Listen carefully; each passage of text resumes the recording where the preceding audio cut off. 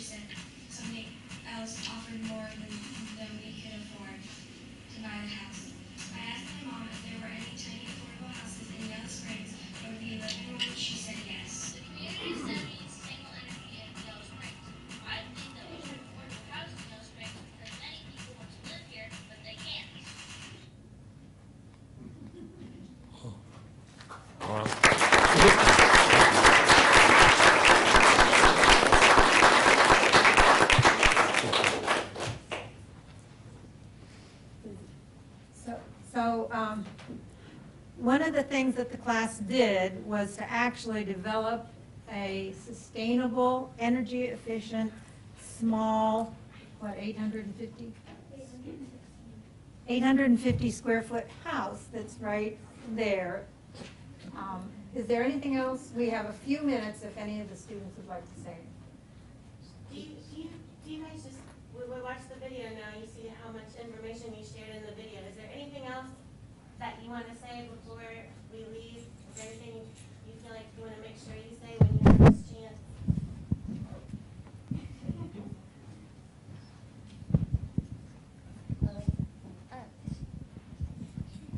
We, we prepared to answer specific questions. Oh, But we don't wanna take up too much of your time. question was. Well, one of the questions, is this supposed to be you? But this is what we did all day today. So I'm Marion MacQueen, and I, and I want to ask you, why did you do this project? So, wait, is this thing on? Yeah. So when we were, um, okay, we were all really frustrated when we were sharing our circumstance on trying to get a house in Yellow Springs because not many of us could get a house. That well, we decided to do something about it. Um, Can you guys say your names, please? What's your name, young man? Kiernan. Kiernan? Yes. I'm Rue Robertson, and we have decided to do this project to um, help the people around the community who would love to live in Yellow Springs and to help people who are open enrollment, which is about 50% of our classroom. Um, we know that it is a really, we know that it is hard, to, especially hard to find a house in Yellow Springs because the houses here are really expensive and mostly they often need significant renovation. And if you can find a house here in Yellow Springs, you it'll probably sell before you can even make an offer because the demand here is so high and the supply is so low. And, and what's your name? Oh, my name is Lily Anna.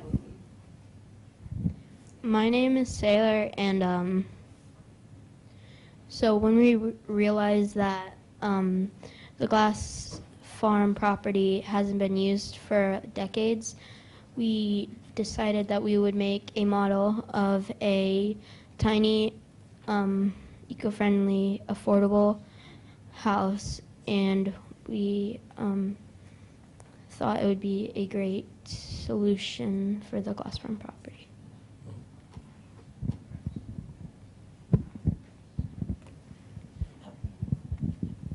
And the second question was, um, you recently made a survey, we had an exhibition night this spring, and the kids made a survey, and they surveyed the community once more about this specific issue, and what did you find?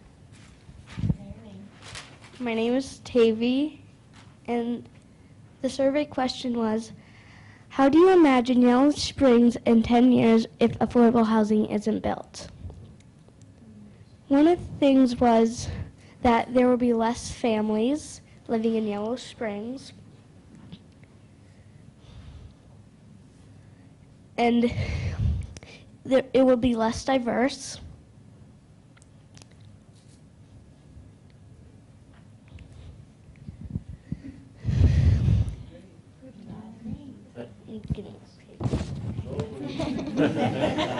There's no shame in notes. We all do that too.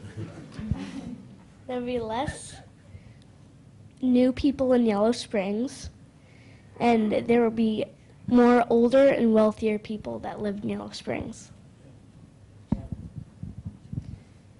The, the village, my name is Jonah, and um, the village would also, um, in 10 years, be like, um, like not as um, interesting as it um, is now. It wouldn't be like it is today, and um, it would be extremely hard to find a home here, and there'd be much less people in Yellow Springs, and it would, this would all lead to like a massive problem. Bless you. Thank you very much.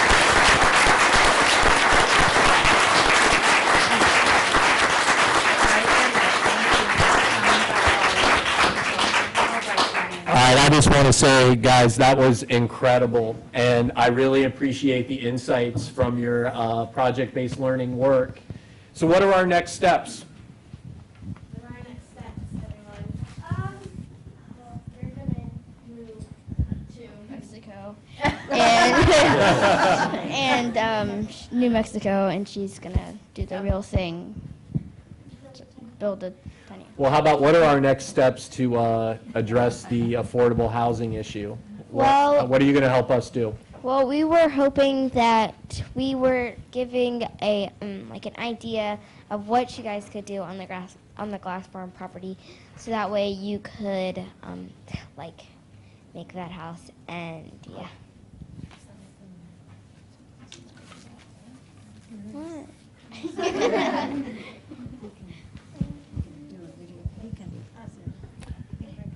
Yeah, Spencer, if you want to zoom in on the house, maybe?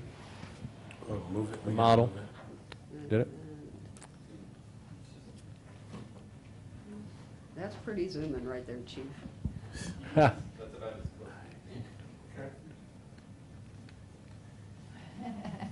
I like those solar panels on the Yeah, top uh, me too. That's really cool. and the trees.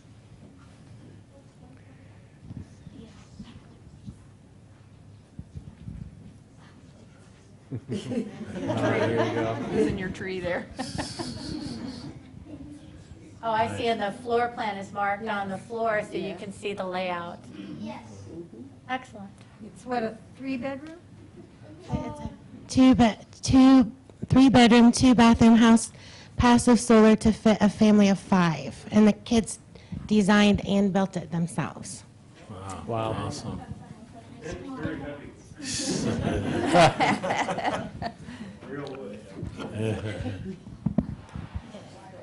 All right, well, it sounds to me like this is a discussion that uh, we would like to continue, and we also want you guys to be involved in the work that our housing committee is doing. And uh, this is really important, uh, and I think you guys really captured the essence of why this has become a priority for council. So, thank you very much.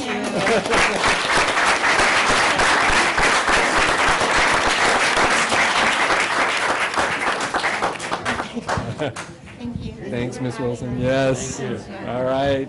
All right, bye, guys. Hey, thanks, Chris.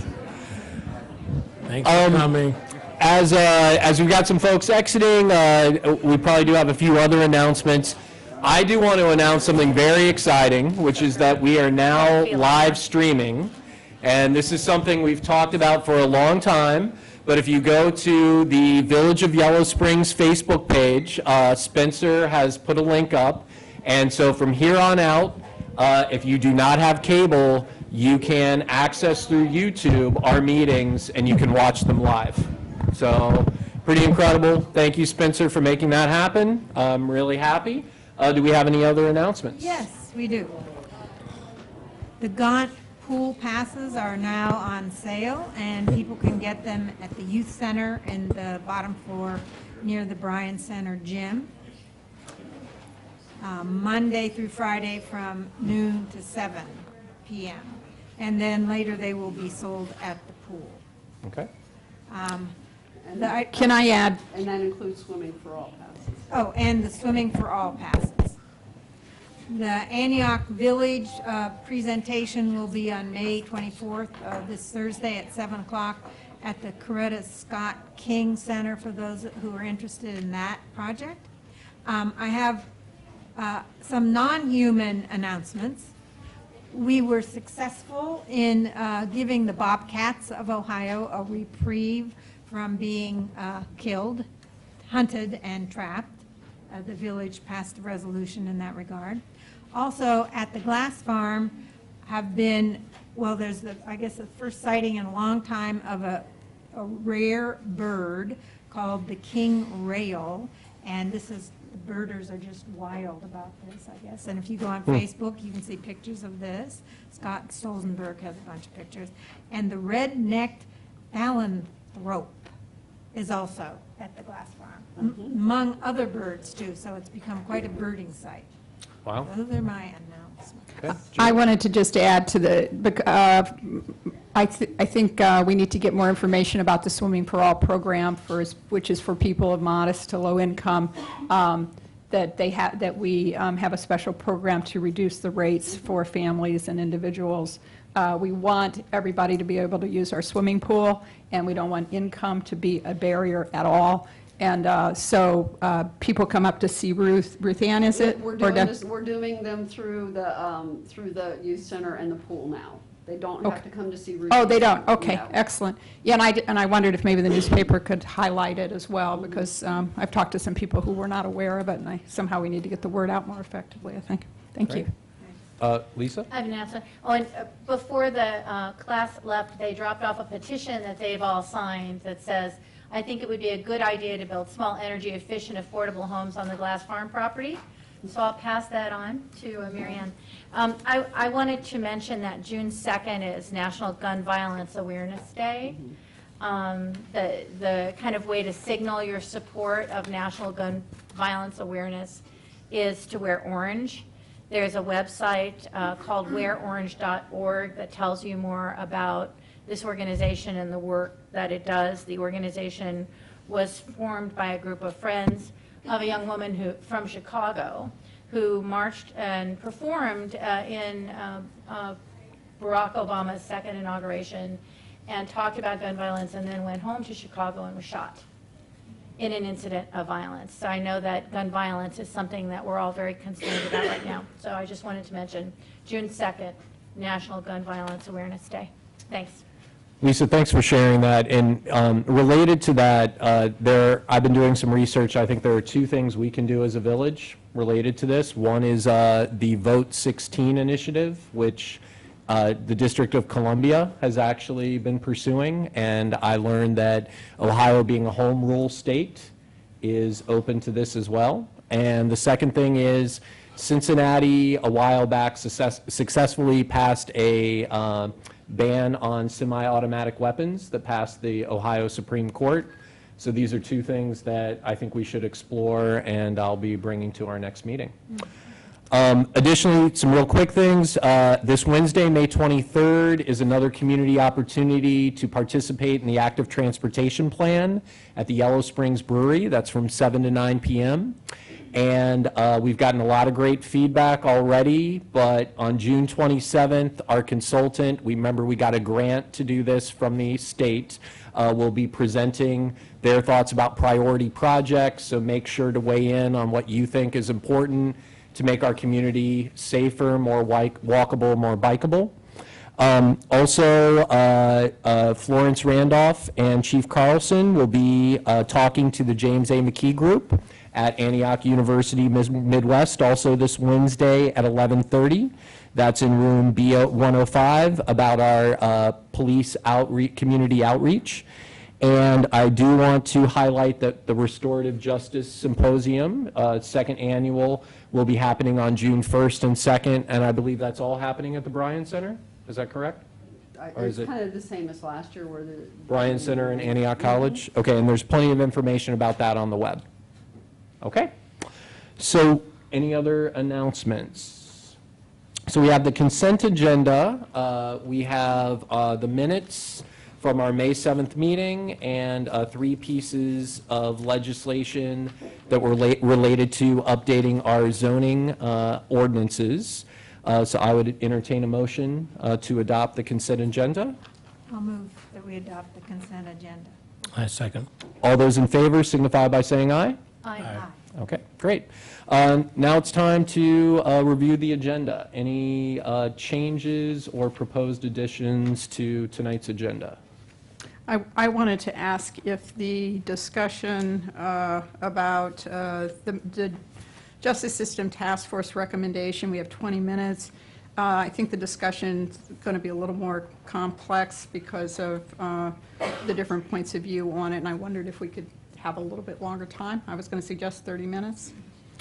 Um, Okay, Uh, yeah, let's, uh, And then, um, in, under new business, um, Patty and I were going to bring from the Energy Board um, an idea around an RFP uh, to help uh, do educate, for uh, a proposal for education to help people reduce their utility bills and their use of, of uh, energy, so. okay. Um, Anything else? Uh, I did want to add, and I think this goes under old business, just real briefly to clarify, um, I watched the meeting from last time, and I was out of town for work, about uh, what we have done with commission budgets, and so I just want to clarify that quickly um, under old business. Thank Okay. you. Um, I- I'd like to um, have a few minutes, since we have the whole council, it's in some place in the agenda to talk about public re- record requests. Okay. And I don't Um, know if that would be under new business or old business. Um, I think, well, I, I mean, it was in Judy's report last time, so maybe that's new business as opposed to old business, because we haven't really had it. Um, okay. So, uh, Marianne, could you, uh, tell us about the petitions and communications? Yep. So we had two letters from the chamber, one from uh, Alex Scott, who's here, and Karen Wintrow, who's also here, um, about the benefits of uh, street fair in particular and uh, festivals to the village of Yellow Springs and, and to communities in general. Uh, A letter from uh, Jackie Ashworth at the college thanking the crew for their timely and efficient service in fixing a water main break at the college. Uh, We had the treasurer's report from Rachel McKinley showing increased return from our investments. A letter from Lisa Walters uh, in support of uh, free uh, event service, the village providing free services for events in the village. Had um, uh, a notice of a workshop uh, sponsored by NAMI and some other organizations on uh, suicide prevention on June 18th at 7 PM. there was information on, and I- do you say Hobie? I don't know. Yeah. Oh, Hobby? Hobby? Hobby. Oh. Um, The Hugh O'Brian Youth Leadership Seminars, and we actually have a resolution in that regard that was coming up. And then lastly, there was some uh, supporting information for Tobacco 21 from the Heart Association, the Cancer Association, and some other organizations. Okay. Thanks, Marianne. Uh, We're now going to move on to our legislation, and uh, the first up is ordinance 2018-15, and our deputy clerk, Patty Bates. Could you read that in by title only? I as soon as I can get to it in my packet here.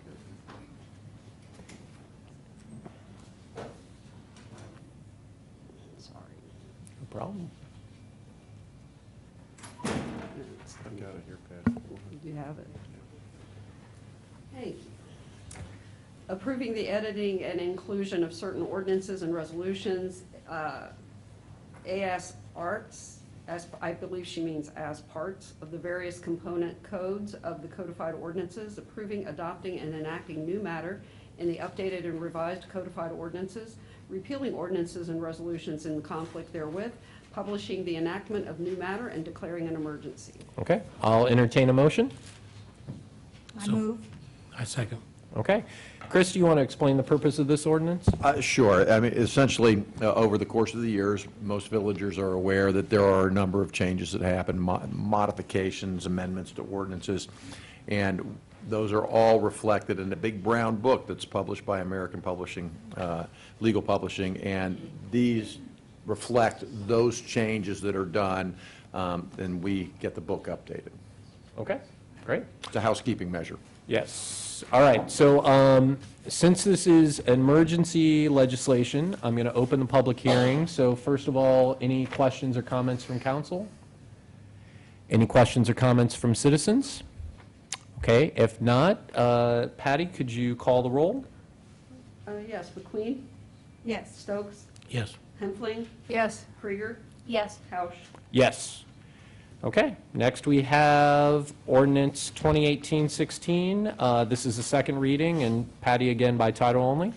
Repealing Section 1020.04A, maintenance requirements of the codified ordinances of the Village of Yellow Springs, Ohio, and enacting new Section 1020.04A, maintenance requirements. Okay, great. Um, I'll entertain a motion. So moved.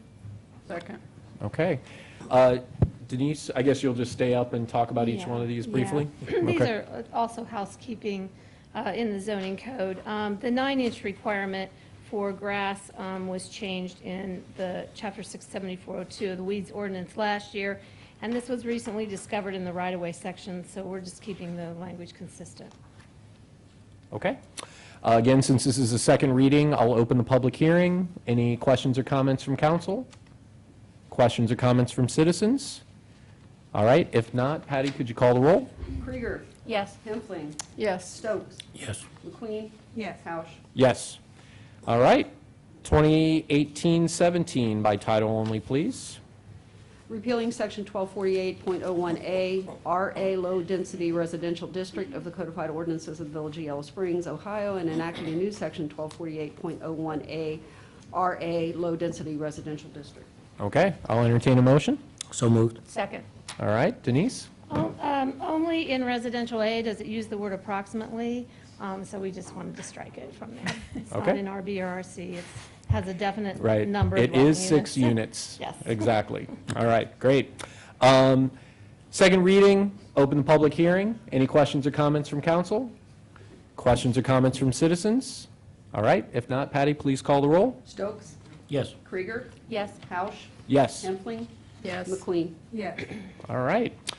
Ordinance 2018-18, again by title only, please. Repealing Section 1260.04A6, uses accessory buildings and structures of the codified ordinances of the Village of Yellow Springs, Ohio, and enacting a new Section 1260.04A6, uses accessory buildings and structures. All right, I'd like to have a motion. So moved. Second. All right, Denise? Again, um, floor area gross is in the uh, definitions, which is the sum of the horizontal um, area of several floors of a building. It was not also in this section of the code. So one might uh, determine it to just be uh, the building footprint. So we wanted to clarify that. Okay, thank you. All right. Uh, As you can tell, this is all housekeeping to keep our zoning uh, up to date. Um, Again, it's a second reading, so I will open the public hearing. Any questions or comments from council? Questions or comments from citizens? All right, if not, Patty, please call the roll. Stokes. Yes. MacQueen. Yes. Hempfling. Yes. Kreeger. Yes. Housh. Yes. All right, ordinance 2018-19, uh, again by title only.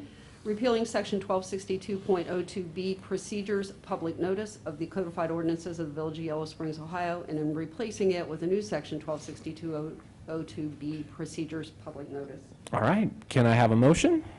So move. Second.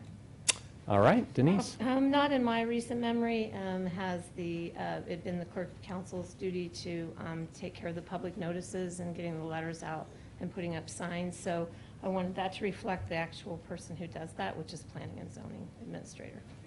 Oh, great. Uh, Again, this is a second reading, so I'm going to open the public hearing. Questions or comments from council? Questions or comments from citizens? All right, if not, Patty, the roll call? Hempfling. Yes. Kreeger. Yes. Stokes. Yes. Housh. Yes. MacQueen. Yes. All right, ordinance 2018-20 uh, by title only. Repealing Section 1250.03A Spatial Requirements, Dimensional Requirements, Business Districts of the Codified Ordinances of the Village of Yellow Springs, Ohio, and enacting a new Section 1250.03A Spatial Requirements, Dimensional Requirements, Business Districts. All right, can I have a motion? So moved. Second. Denise? Uh, foot- Footnote six, there was an error. Um, It should be rear yard and not side yard abutting a residential district or a village boundary line. So that was changed. Okay, great. Uh, Again, this is second reading, so I'm going to open the public hearing. Questions or comments from council? Questions or comments from citizens? All right, uh, Patty, could you call the roll? MacQueen. Yes. Kreeger. Yes. Stokes. Yes. Housh. Yes. Hempfling. Yes. All right, ordinance 2018-21 by title only. Repealing Section 1262.08E1, E Conditional Use Requirements, Residential Accessory Dwelling Units of the Codified Ordinances of the Village of Yellow Springs, Ohio, and enacting a new Section 1262.08E1, E Conditional Use Requirements, Residential Accessory Dwelling Units. All right, I'll entertain a motion. Moved. Second. Denise? Uh, Latest uh, conditional use hearing, we had a property owner who did not want to be required to have a microwave. And the planning commission all agreed, so we added oven and/or microwave. Okay, and I would just like to um, uh, uh, uh, suggest an amendment, which is to put the comma after the stove uh, instead of after and/or, so that it's clear. So I think it's just a, right, in the parenthetical, there's a list of those items. Um, So this is the second reading, and uh, I will open the public hearing. Any questions or comments from council? Questions or comments from citizens? All right, so uh, I would like to make a motion then to approve this ordinance as amended by moving the comma. Second. All right, Uh, roll call, please. Housh. Yes. Kreeger. Yes. Uh, Stokes. Yes. Hempfling. Yes. MacQueen. Yes. Thank you, Denise. Okay. And Do we have to vote on it again? uh, Since No. we voted only on the amendment, okay. The- The Okay. amendment was included to pass. Great. Okay, so now uh, we'll slow things down a little bit and talk about Resolution 2018-14. Um, Patty, I think you can read that in. Uh, Actually, let's read that in full. Okay. Creating an economic development incentive policy. Whereas the Council of the Village of Yellow Springs firmly believes that economic development is essential to the continued financial health and well-being of the village, and whereas incentives related to economic development are extremely helpful in not only attracting new businesses, but also in assisting existing businesses to expand and develop, and whereas incentives have been offered by the village in the past in order to attract and assist business development, and whereas the Village of Yellow Springs wishes to revive that practice under new guidelines that are in concurrence with the stated village values, now therefore be it resolved by the Council of the Village of Yellow Springs, Ohio, that, Section 1, the Economic Development Incentive Policy attached as Exhibit A is hereby adopted, Section two, the village manager is instructed to implement the economic development incentive policy. Okay, I'll entertain a motion. So moved. Second. Okay. Lisa, you want to talk about this one, please? Yes, this is something that the um, Economic Sustainability Commission has been working on for quite some time. I'd like to thank them for their work on this. Um, We've, as the, as the um, document stated, this is something that we've been doing as a village for a long time, giving incentives, but we thought that it was important to move towards um, more objectivity and mm, define a policy and a process and a scoring sheet so that when incentives are requested for various reasons, we have both consistency and a documentation for how um, we're granting those incentives. So this is kind of the culmination of a- quite a bit of work, um, and that's what the incentive policy is about. Great. And uh, I also really appreciate the work, because as Lisa pointed out, we want to um, be less arbitrary about these decisions. And to that extent, um, I have a recommendation for uh, amending the resolution. So I'm just going to read this out, and um, uh, I'll I'll read it slowly. Um, I think we need to recognize this piece about um, being consistent and not arbitrary. So I wrote, whereas incentives need to be given to businesses and organizations intentionally, with clear benefits to citizens, and in a consistent and unarbitrary manner. Does that work? Um, So, because I, I know that's the intent of this uh, policy, but I want to make sure that we uh, capture that in our resolution. Um, And then the only other thing that uh, I I had mentioned two meetings ago is that we need to update with the new village values, um, because we remember we did add our anti-racism value. Um, So I think those two thing, changes need to be made. All right? Any? Yeah, I- I'd like to suggest, Lisa, would you read what the in- possible incentives are? Because it's not necessarily clear. Um, Incentive requests that support village values include, but are not limited to the following: low-interest loans or grants, abatement, credit of income or property tax, land sale or swap, utility easements or extensions, other infrastructure, fee waivers, and others as deemed appro- appropriate. Okay. Um, Any, Judith? Um, We had, I, I don't remember where this got left. Um, I think I had brought up, uh, when we were talking about this, this, you know, we're still looking at, and Kevin and I need to bring something, I, probably to the next council meeting, about this idea of diversity hiring practices that we hope to adopt as a, as a village. And do we want to specifically say something about that? Uh, Because I, I, thought- I think, I thought that is what we had talked about, but I don't know. Um, So um, that's not explicitly included in the scoring sheet or stated in the incentive policy at this point. Well, uh, although, since uh, part of the scoring sheet is our village values, True.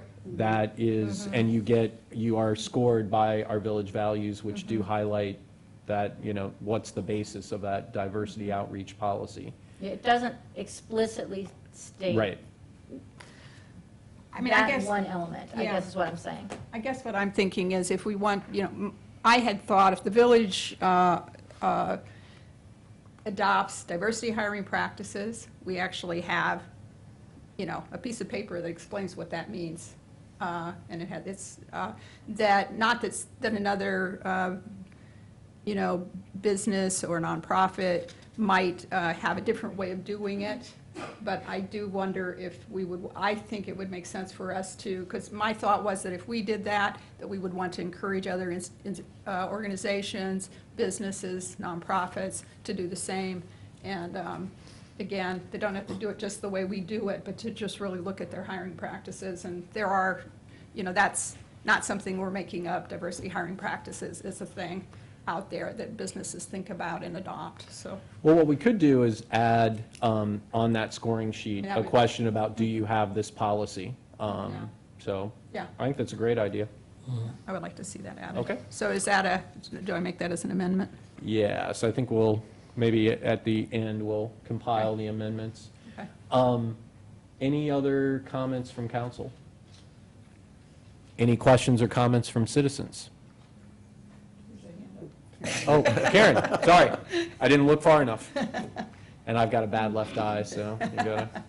Hi, Karen Wintrow, uh, Yellow Springs Chamber of Commerce. Um, I like the fact that it was written around supporting business, but, but actually, I think the Economic Sustainability Commission and the practice of council has been to extend these incentives to organizations, nonprofit organizations. So I wonder if there should be some um, modification of the language to say business and nonprofit. um. Because it, the, the resolution itself did seem very focused on. Well, that, in my whereas, I was intentional about saying organizations and businesses, but do you see another place to add that as well? Whereas you just added. Yes. The whereas you just said, okay, Yeah. excuse me.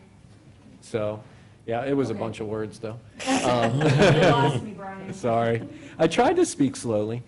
Um, Okay, but I, I very much agree with that. We have many of our nonprofits in town that um, have uh, shown the economic benefits of incentives, uh, one of those being Home Inc. And that's stated clearly in the incentive policy by for-profit and nonprofit entities. Yes. Great. Uh, Any other comments? Yeah, I- this is a question. So one of the other things that we're considering is fees for event services. So is there a way, uh, the the incentives that are listed here, would they include that? I mean, it's really services. It's the village providing services with no charge. Is that outside of this thing? or- Um, So I can weigh in just, you know, from my tenure in council. Um, The Economic Sustainability Commission started, began working on this incentive policy. Um, It was actually in final draft well before this uh, more recent issue about paying for events came up. Um, I don't recall that when we talked about the um, qualifying crit- criteria, um, that economic sustainability included services, fees, fee for event services as part of the list. Um, I guess I feel like I don't want to take any action that delays approval of this incentive policy, given the amount of time and work that's gone into it. Um, But I can see your point, that there could be an overlap if council agrees that there will be a fee for services. If we say there will not be a fee for services, then it should not be part of the incentive policy. So then a fee, wa- if we did charge fees, then a fee waiver could be, would be. Then it could, but I, I think we, we haven't had that other discussion yet. Right. I, the other thing I remember us talking about is at least treating them in a, s- in a consistent manner. So even if we don't, uh, you know, put the two together, that we would have a similar kind of process if we, you know, do make that decision. Um, Rachel, did you have? Okay, great. Any other comments? Okay, if not, um, I would like to entertain a motion to, uh, uh, for the resolution to pass with the three amendments, which I had as adding diversity hiring practices to our um, uh, criteria list, updating the village values, and adding the whereas about um, being intentional and consistent with nonprofit organizations and businesses. Would would you read that whereas again? I will. And then I will. Whereas incentives need to be given to businesses and organizations um, intentionally with clear benefits to citizens and in a consistent and unarbitrary manner. Okay, I, I move to adopt the resolution as amended with the three amendments. Second. All those in favor signify by saying aye. Aye. Aye. Great. All right, so 2018-19 is our last piece of legislation, and Patty, if you don't mind reading in that by, uh, in full. Uh, We should be Did I? at 2018, 17. Oh, sorry, thank you. You're right. 2018-18, right? 17. Seventeen. Did I go that far? Yeah. Jeez, Yeah. okay. Wow, you can tell where, that I want to move on. So- Um, okay, so Resolution 2018-17, uh, by title only, please. Awarding a contract to High Tech Electrical Contractors LLC for the removal and replacement of 11 electrical poles and lines for the Village of Yellow Springs. I'll entertain a motion. I move. Second. All right, Patty. Uh, Actually, John. Oh, Johnny's here. Thank you. Johnny, come on up. These are 11 poles that we as staff do not have time or the safety measures to be able to change them out safely. Uh, This is also the same contractor that did 10 uh, and 15, or in 16. Uh, So we got another bid from them, and that's the price. Okay. Did you We're- want We to, are, we are furnishing all the material, that is labor only. And, and about going out for more, I can get a better price if I was to do more than 10 or 11 poles at a time. But I gotta have the authorization to go out for more poles. If I went out for 90 poles, it could be significantly less, but the price could be extremely higher. the, the reason we have problems getting bids is because nobody wants to bid on a job this small, believe it or Correct. not. This is a Mhm. small job for an electrical contractor. And we have a total of 90 poles that we need them to, someone to eventually do. other We than have, the we have 180, but we feel we can do 90 Right, of we can them do half of them uh, in-house. by staff. So we just want you to be aware, especially when we talk about the upcoming infrastructure discussion. Correct. That this is something we could get done more quickly and probably save on per pole. But at this point, we need to move forward with what we can get to. If we drop this down to fewer poles, even high-tech wouldn't want to do it. So why have we not gone for the 90 poles? What, why, why just go out for 11? Uh, That's just trying to do it in short increments It's- so we don't deplete the funds. Yeah. Would it, dep- I mean, I know we're not going to go back this year, I don't, I assume, but would it deplete the fund so much? So uh, just for, in case people didn't see it, so it's $49,000 just for the putting in of the pole, of 11 poles. It's not even the pole. it's That's not the material. That's not for the material. Uh-huh. Complete pole. So Well, we have Probably thr- about $70,000 by the time we're done replacing. Well, we have 11. 350,000 in our capital budget, right? So, Yeah, okay. I believe so. So, so leading from that, I'm assuming that you, the two of you, I guess, made the choice in prioritizing things, that we have The- other things. These are 11 crucial poles that need to be changed out within two months. We actually have one that is uh, a hazard right now, and we cannot address that pole until we have others that are going to be a problem. But what I, what I meant was to the question of why we're not doing more poles. Correct. I would assume that, given the amount of money that we have and the other things that we need to do, there are other priorities for this year. Is that right? Or, Other than the, we could spend the 90 poles out over a couple years, I believe, but we're, we're flirting with the fine line because they've already been rejected as, as pole no, replacement. why not just do the 90 poles this year? Yeah, have we given an. I- I did indication not we don't budget- I want? did not budget, it, but we could take it out of the capital funds. I only budget hundred thousand dollars a year uh, for pole replacements. I mean, would we be able to, if we did the 90 poles this year, would we be able to do the other things that we need to do over the next couple of years? I believe so. But. So we but- just need to think about it differently to the future. Correct. Well, I, or maybe think about it differently now. I mean, that, and, and again, perhaps this is, we're doing this in a vacuum absent that broader conversation about capital costs. But if we have the budget and we know it needs to be done, um, would, would broadening the contract to get done what needs to get done slow down the process a lot? Well, I- my recommendation would be that we go ahead with the poles, with these 11 poles, and let them get started on it. By the time they are getting these done, we're going to be having our broader conversations. So when you say, though, it's going to, it would cost more, I mean, I mean, sorry, that it would cost less to have a bigger Well- contract, how much less?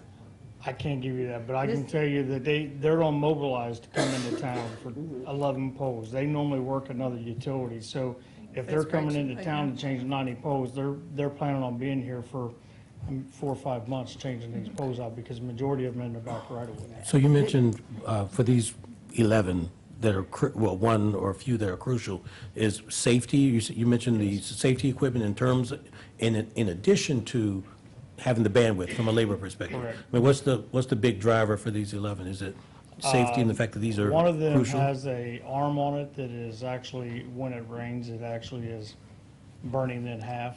And we cannot address that pole until we take care of one that's directly holding that pole up. And it's right against the building. I- It's actually built the gutter around the pole. The, the, uh, the cost for these 11 poles is about 44, a little over $4,400 a pole. If we did all 90 poles, we would probably drop that down to about probably 4,000 a pole, something like that. I'd- That'd be a- probably a pretty good guess, but it could drop.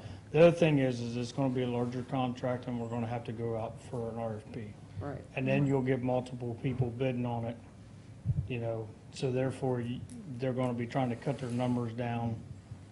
So, So that's the delay would be the RFP. yeah. It's probably too late for this summer. Okay. Uh, we could, we could put it out this summer and it's stuff that can be done in the wintertime. Oh. And it actually would be better on the yards if we actually did it in the wintertime when it was froze or when the grass was not growing. At the same time, the weeds and mosquitoes and all that. So I think we would do the first 11, put an RFP out to change another 80 poles and see what we get. Okay, well, I, I think you're hearing that that is, uh, resonates with council, so thank you, Johnny. Any other questions or comments? Okay, if not, uh, all those in favor signify by saying aye. Aye. Aye, all right. Uh, Okay, uh, now we go to 2018-18. Uh, Patty, go ahead and read that in full, please. Appointing Johnny Burns as Public Works Director. Whereas the position of Public Works Director currently exists in the village organizational chart as approved by council, but said position has been unfilled for several years. And whereas the village as a whole is experiencing an unprecedented need for the close coordination of all infrastructure projects to make the best use of limited resources. And whereas filling the position of Public Works Director with a highly qualified individual would better facilitate the coordination of all capital improvements. And whereas the Village of Yellow Springs internally posted the notice for the vacant position of Public Works Director and formed an interview committee that identified and interviewed two candidates. And whereas the interview committee met with prospective candidates and provided feedback to the village manager to consider for the purpose of making the final hiring decision as prescribed under the village charter. And whereas the village manager has considered the feedback and determined that Johnny Burns should be extended an offer of employment as Public Works Director for the Village of Yellow Springs and makes same recommendation to council. Now therefore, council for the Village of Yellow Springs, Ohio hereby resolves that Johnny Burns is hereby extended an offer of employment to serve as Public Works Director for the Village of Yellow Springs to serve at the pleasure of the village manager. The Section two, the duties of the Public Works Director shall be the- those as provided for in the job description for the Public Works Director and pursuant to the employment agreement attached to this resolution as Exhibit A. Section three, the employment agreement is hereby approved in substantially the same form as Exhibit A. The village manager is hereby authorized to execute the ev- employment agreement and to take other such actions on behalf of the village as may be necessary to assure this appointment. Section five, this resolution shall be in full force and effect upon its adoption. It is the intent of the council that the employment agreement be effective upon signature by the parties. Okay. Uh, I'd like to get a motion. So move. Second? Okay. Uh, I'm sorry, who was that? Judith and? Marianne. Kevin. Oh, was that Kevin? Let's arm wrestle over. Oh, see? I- I- Marianne was closer to me. Um, All right, Patty, do you want to say anything? Yes. Um, First of all, I want everyone to understand that Johnny's been acting in this capacity since Jason resigned his position with the village uh, last fall. Second, I want you to understand that he has done an exemplary job. Um, You are going to be amazed at the difference in the, po- in the way the pool looks when you get a chance to look at that. You're going to be amazed at the difference in the Bryan Center. And I have heard nothing but compliments from the public about Johnny's service. Alex is sitting there nodding her head. Um, I think the mayor's happy with the whole office renovation, and so, um, all around, Johnny is the person for this. He comes to us with not only the twenty-five, the four years that he's been here with the village, but he has twenty-five years of private sector experience. He's been a supervisor for eighteen of those years. Um, It, it's uh, his knowledge and his expertise and his, his ability to figure out the best way to do something for the village, uh, and that includes at, you know, the minimal cost is, is incredible, and he astounds me every day with it. I cannot say enough. So um, that's my recommendation to council, and I would like your approval of this contract. And I just want to add to that, um, I've been really impressed, Johnny, by the attitude that you've brought to the job and the pride that you have in the village. And I hear that over and over in your message about the new way that we're going to approach things. I really appreciate that. We are thinking about planning for the future in a much different way. And I know you heard Lisa talk a lot at the last meeting about becoming the infrastructure queen, or guru, right? Right. Is that what you said? Yeah. Um, I think we- goddess. Goddess, I like that. So we are all paying attention to this, and we are thinking about, you know, we've implemented dig once policies. Johnny understands the value of shared services when we can do that. Um, We're really changing the way that we approach things, because that's one of the ways that we can uh, continue to reduce costs. So with that, uh, any other questions or comments from council? Uh, Questions or comments from villagers? Okay, if not, uh, all those in favor signify by saying aye. Aye. aye. All right. And finally, 2018-19, uh, Patty, if you don't mind reading that in full so people understand what it's about. Honoring Southwest Ohio Hugh O'Brian Youth HOBY for outstanding accomplishments and declaring June 28th to July 1st, 2018 as Southwest Ohio Hugh Hugh O'Brian Youth Days in the Village of Yellow Springs, Ohio. Whereas Council for the Village of Yellow Springs, Ohio supports the Hugh O'Brian Youth Leadership or HOBY Program goal to inspire and develop our global community of youth and volunteers to a life dedicated to leadership, service, and innovation, and whereas the summer of 1950, in the summer of 1958, actor Hugh O'Brian, motivated by the unforgettable experience he had with Dr. Albert Schweitzer, developed a leadership seminar focused on young leaders of our nation. And whereas the core values that guide the vision of the HOBY team center around volunteerism, integrity, excellence, diversity, and community partnership. And whereas in the 60 years that HOBY has been in existence, it consistently receives honors as one of our nation's top youth leadership organizations with participants in all 50 states and more than 20 countries, over 4,000 volunteers who have logged over 3.5 million hours of service, making over an $85 million economic impact on communities. And whereas HOBY carries out its mission by inspiring young people to make a difference and become catalysts for positive change in their home, school, workplace, and community. And whereas the Southwest Ohio HOBY Leadership Seminar will take place June 28th to July 1st, 2018 at Antioch College. Now therefore be it resolved that the Council of Village, for the Village of Yellow Springs does hereby, Section 1, congratulate Southwest Ohio HOBY for its positive effect on youth and community. Section 2, proclaim June 28 through July 1, 2018 as Southwest Ohio Hugh O'Brian Youth Days in the Village of Yellow Springs. Section 3, encourage all citizens to acknowledge the importance of successfully motivating our youth and encouraging them to be an inspiration to others. And we certainly saw that this earlier in the meeting. So uh, I'll entertain a motion. I move. Second. Okay, uh, I'm not sure we need any discussion. Uh, Everything's highlighted in the resolution. It's exciting that Antioch College is hosting this event. Um, So I will, uh, all those in favor signify by saying aye. Aye. Aye. Okay, now is the time in the agenda for citizen concerns. And again, I just want to emphasize, these are topics that are not on the agenda. So if you're here to talk about Tobacco 21 or events for services or some of those other topics, uh, Mayor's Court, um, those will be coming up next. So are there any citizen concerns? Okay, if not, we will move to old business. And first on the agenda is Tobacco 21. Um, I just want to say a few things about this discussion.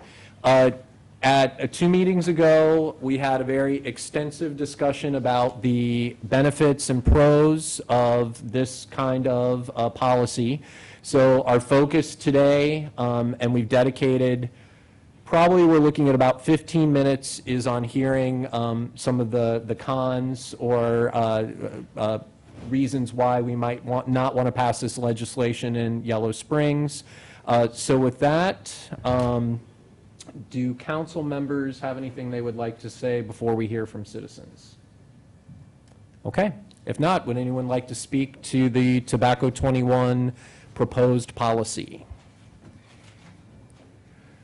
Okay, Don Beard. How do you do, guys? My name is Don Beard with the uh, Trail Tavern, Peaches Grill, and the Import House. Um, Import House has been in town 32 years. Uh, As part of our business plan, what we try to do is to to cultivate the first-time shopper to our town, which is usually the 16-year-old, first time in a car, travels to Yellow Springs, uh, starts their shopping experience with us.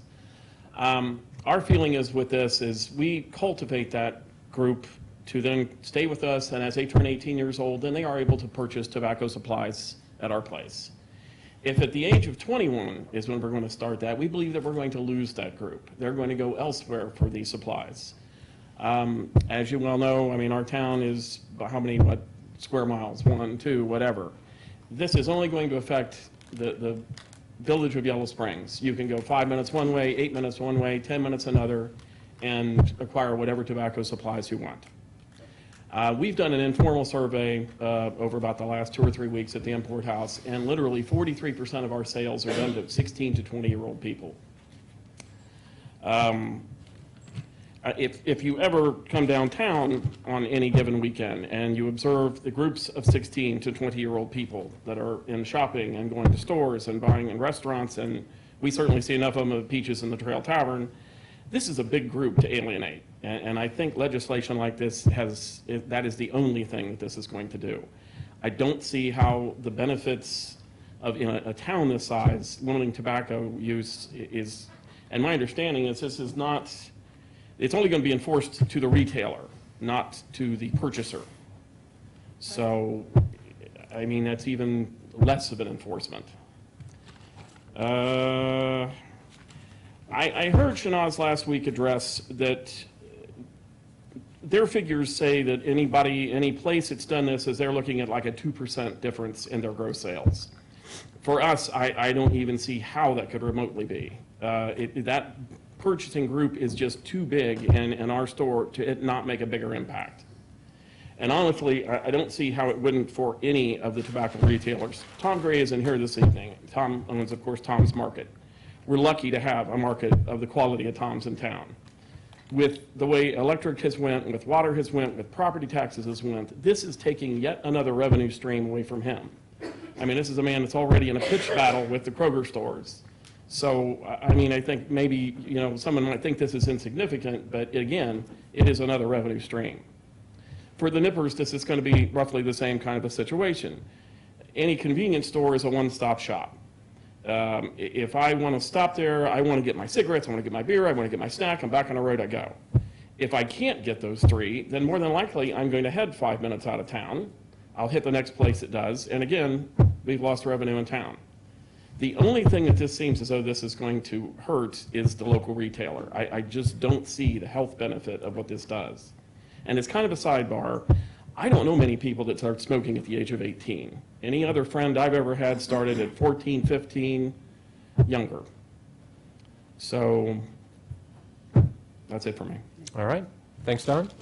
Um, And, uh, and actually, you were right on three minutes. I, I did- failed to mention that uh, we ask that you keep your comments to three minutes. And uh, Patty, are you keeping time? Okay, any other comments from citizens? Dennis Nipper? Dennis Nipper, been a longtime resident for 67 years, 45 of those working for the Village of Yellow Springs. And one real quick comment, I'm offended that somebody would come up here and make a comment about my financial stuff, about the 2%, stuff like that. It's none of their business, what we do or what Don does or, okay. That's a little comment. The question to the council is that, has the council instructed the village solicitor in any way to look at a, uh, draw up what an ordinance would look like? Uh, Is that the only question you have? No, no, I got no- Okay. I'm waiting for a yes We'll- or We'll, no. we'll kind of, I mean, we usually collect the questions, but at this point, Oh, we're still okay. take, we're still taking information, Okay. so. And I guess the next question is that, other than the retailer be, be uh, fined for selling, what do we do, an 18, 19-year-old Antioch student walking downtown smoking? Do you want your police department to pull up, get out of the car, and ask for their ID? Is that our culture that we want to object to everybody in the country that uh, the police? Chief Carlson will not want to come to work on Monday. I can guarantee you, he will not want to come because the police officers will walk downtown, stop anybody that looks like they're under 21. You have your ID? Because you got a cigarette in your hand. Can they come into our store and buy a pack of cigarettes, walk right out the store, light it up, stand on the sidewalk and wave at the police go by smoking? And that's totally legal, but they can't come in and buy. The 21-year-old can buy a pack and give it to the 18. Is that, you know, do you want us to harass the people?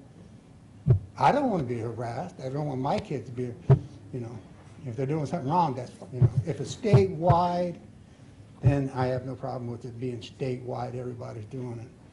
But do you want your police department, and I feel bad for Chief Carlson, he's going to have to deal with this every Monday, and Mr. Councilman Stokes works at Antioch College, and at Antioch College, there'll be a 21-year-old, hey, I'm making a run to Young, uh, two miles up the road, who wants a pack of cigarettes? Give him the money, her the money, they'll come back, sit over at the college, come downtown, smoke, same way. These kids will still get their smokes no matter what. It's not fair to penalize us when they're gonna be walking up and down the street smoking. Is that what you want your police department to do? Okay, now, Chief Carlson s- look at it differently, but uh, I'm gonna tell you, you're opening a whole can of worms that we don't want the community to look at. Okay.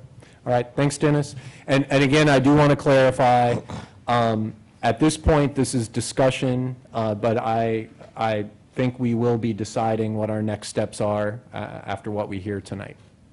Uh, Um, Brian, yes. I wonder if we should hear from the chief. He, he wrote a report, but I'm sure many people didn't, uh, didn't read it. Uh, You know, people out here. So I wondered if you wanted to just. No, no, Yeah, no. I- I wrote, I wrote the report on Can the. the? Oh, okay. Yeah, um, any other? I thought citizens might want to hear it and comment on it. That was the reason I thought it would Oh, be okay. worth uh, raising that ahead of time. Okay, Jessica? Uh, My name is Jessica Thomas. Um, I am vehemently opposed to this. I, other than the fact that we are just stomping on a person's rights that they should have, I, I think that as a community who claims to be progressive, we shouldn't be going backwards with age limits. And furthermore, I think that we should be working harder to decriminalize more drugs, marijuana, for example, in order to really educate people on how to use these things in a safe way. Instead of spending money on enforcing a law like this, we could use it on, to educate young people on the drawbacks of using tobacco. It doesn't make sense to spend more money enforcing a law that is not going to be applied very well and is only going to affect a certain age group. And like Mr. Nipper said, um, it's not something that we're going to stop young people from accessing. Okay. I want, I want to ask again that the staff report be read, because I think uh, there's maybe some misunderstandings, but I, I feel like there's a piece of information, probably a lot of people here have not read it. Um, all That's right. my feeling before So, we hear further. Chief Carlson, I think uh, Judith would like you to I guess it's comment from next. Chief, uh, Chris, Connard, and Patty, so maybe Patty's the one who. Okay. Yeah, we- I, I actually wrote it with input from the chief and Yeah, Chris. So do you want to Um, comment then? But I just I wonder if can, should I go can over it. basically tell you what, what we Yeah. discussed. Right. Um, so essentially, once council determined that they were going to discuss passing this ordinance, um, or potentially passing this ordinance, um, I contacted the other, I think there are six, one, two, three, yeah, the other six, um, municipalities who have similar ordinances. And they include Upper Arlington, Bexley, Grandview Heights, New Albany, Cleveland, and Powell. Um, I sent emails to all of those communities as well as to Columbus and Euclid. Um, and I received information back from Bexley, Powell, and Columbus. None of the other entities responded. Um, I spoke to Mayor uh, Kessler in Bexley. He indicated that their ordinance was passed three years ago at the same time that Upper Arlington passed it. Upper Arlington does neighbor Bexley. Um, That initiative was driven by uh, residents and medical providers. Um, The, they were proactive, they passed the legislation, they did not contact vendors until after they passed the legislation. Um, But they were proactive in doing public information distribution. Um, They um, have had no complaints uh, about any violations, but they have also not conducted any kind of um, for lack of a better word, undercover enforcement operations, and enforcement is limited with them. Um, uh, I talked to Ben Baruchowitz with the city of Powell. Um, They did solicit input from the community prior to the passage. Some vendors objected, but it was overwhelmingly supported by most of the business community and the residents. The city did provide informational flyers and stickers to all the businesses that sell tobacco um, and to help uh, public education of the ordinance. And then I spoke to Melissa MacArthur of the Columbus Health Department. Um, She indicated they enacted their legislation in December of 2016 and reached out um, to stakeholders prior to the enactment. The only thing they do is issue advisory letters on confirmed underage buys in response to complaints and investigations, and they have about a 66% compliance, so it's all complaint-driven.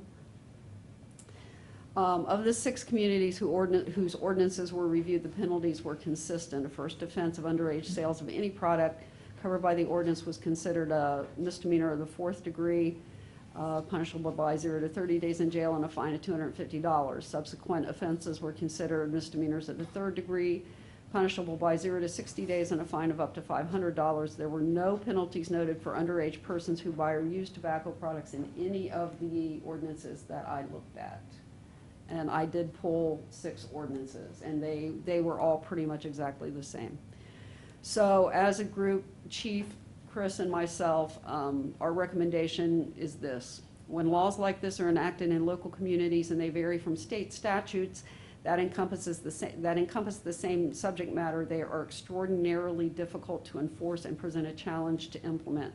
If council chooses to enact this legislation, our recommendation would be that we be consistent with other municipalities in using the M4, M3 penalties for illegal sales. If we should choose to enforce against underage people, young people using tobacco products in violation of the law, we suggest a minor misdemeanor cited to mayor's court with an education component. Enforcement would be complaint-driven, similar to our zoning code enforcement process. I just wanted that to be read because there's two options. There's one, you know, of just enforcing the folks who sell, and then there's, then there's the other option, which, you know, would be to also be enforcing for the underage user. So I just wanted that to be clear. Okay. Any Bob's got his other, hand up. yes? Oh. Yep. Um, I'm employed by the Can you Import state your House. name, My name please? is Rhonda Kumbuski. Yes, hey, Rhonda. I have been employed there since 1990, and I will tell you, I have a lot of coworkers with me this evening. Some of us will lose jobs if this is enacted. We card people on a daily basis for using credit cards, and we always card for tobacco purchases, and that's a huge part of our business. And 18 to 21, the college-age students, that's who we see every day. And they will drive to Fairborn, like Don said. They will drive to Springfield. They will stop coming. And some of us will not be employed. So I just want you to see there are faces that will be affected by this decision.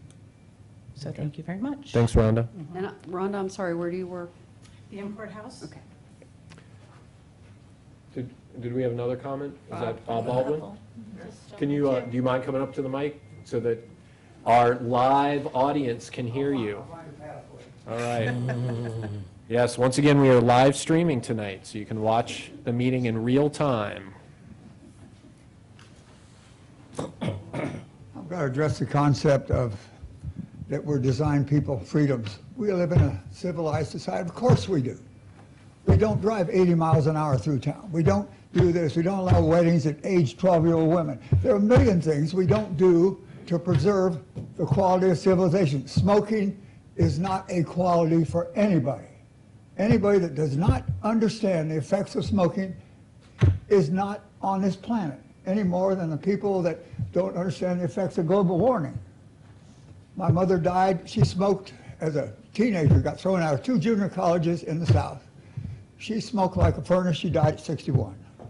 My son, when he was three, he was picking up every twig, every cigarette butt that dad had. I went to the Kettering Smoking Clinic, toughest thing I ever did in my life.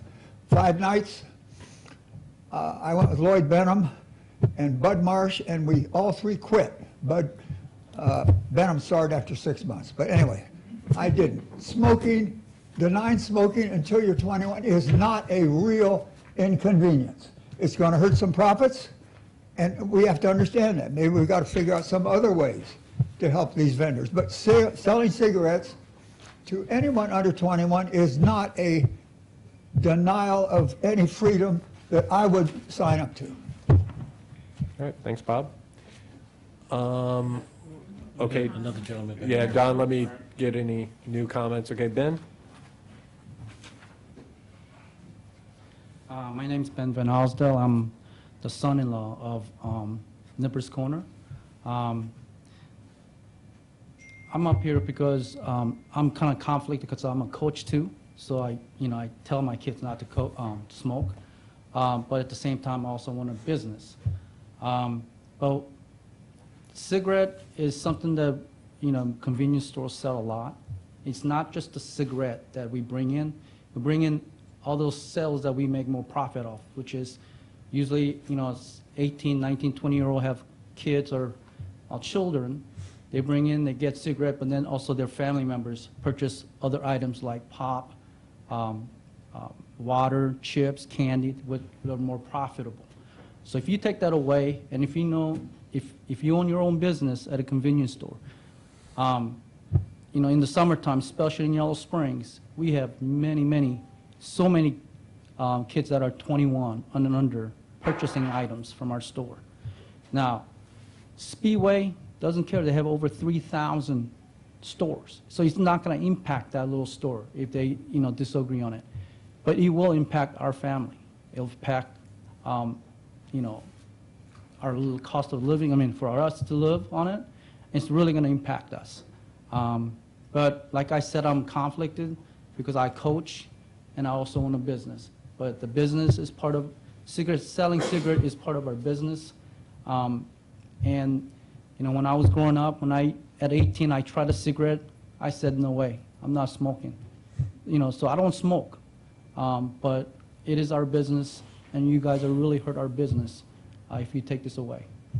Okay, thanks, Ben. To suggest that we bring it back to council and then go, I mean.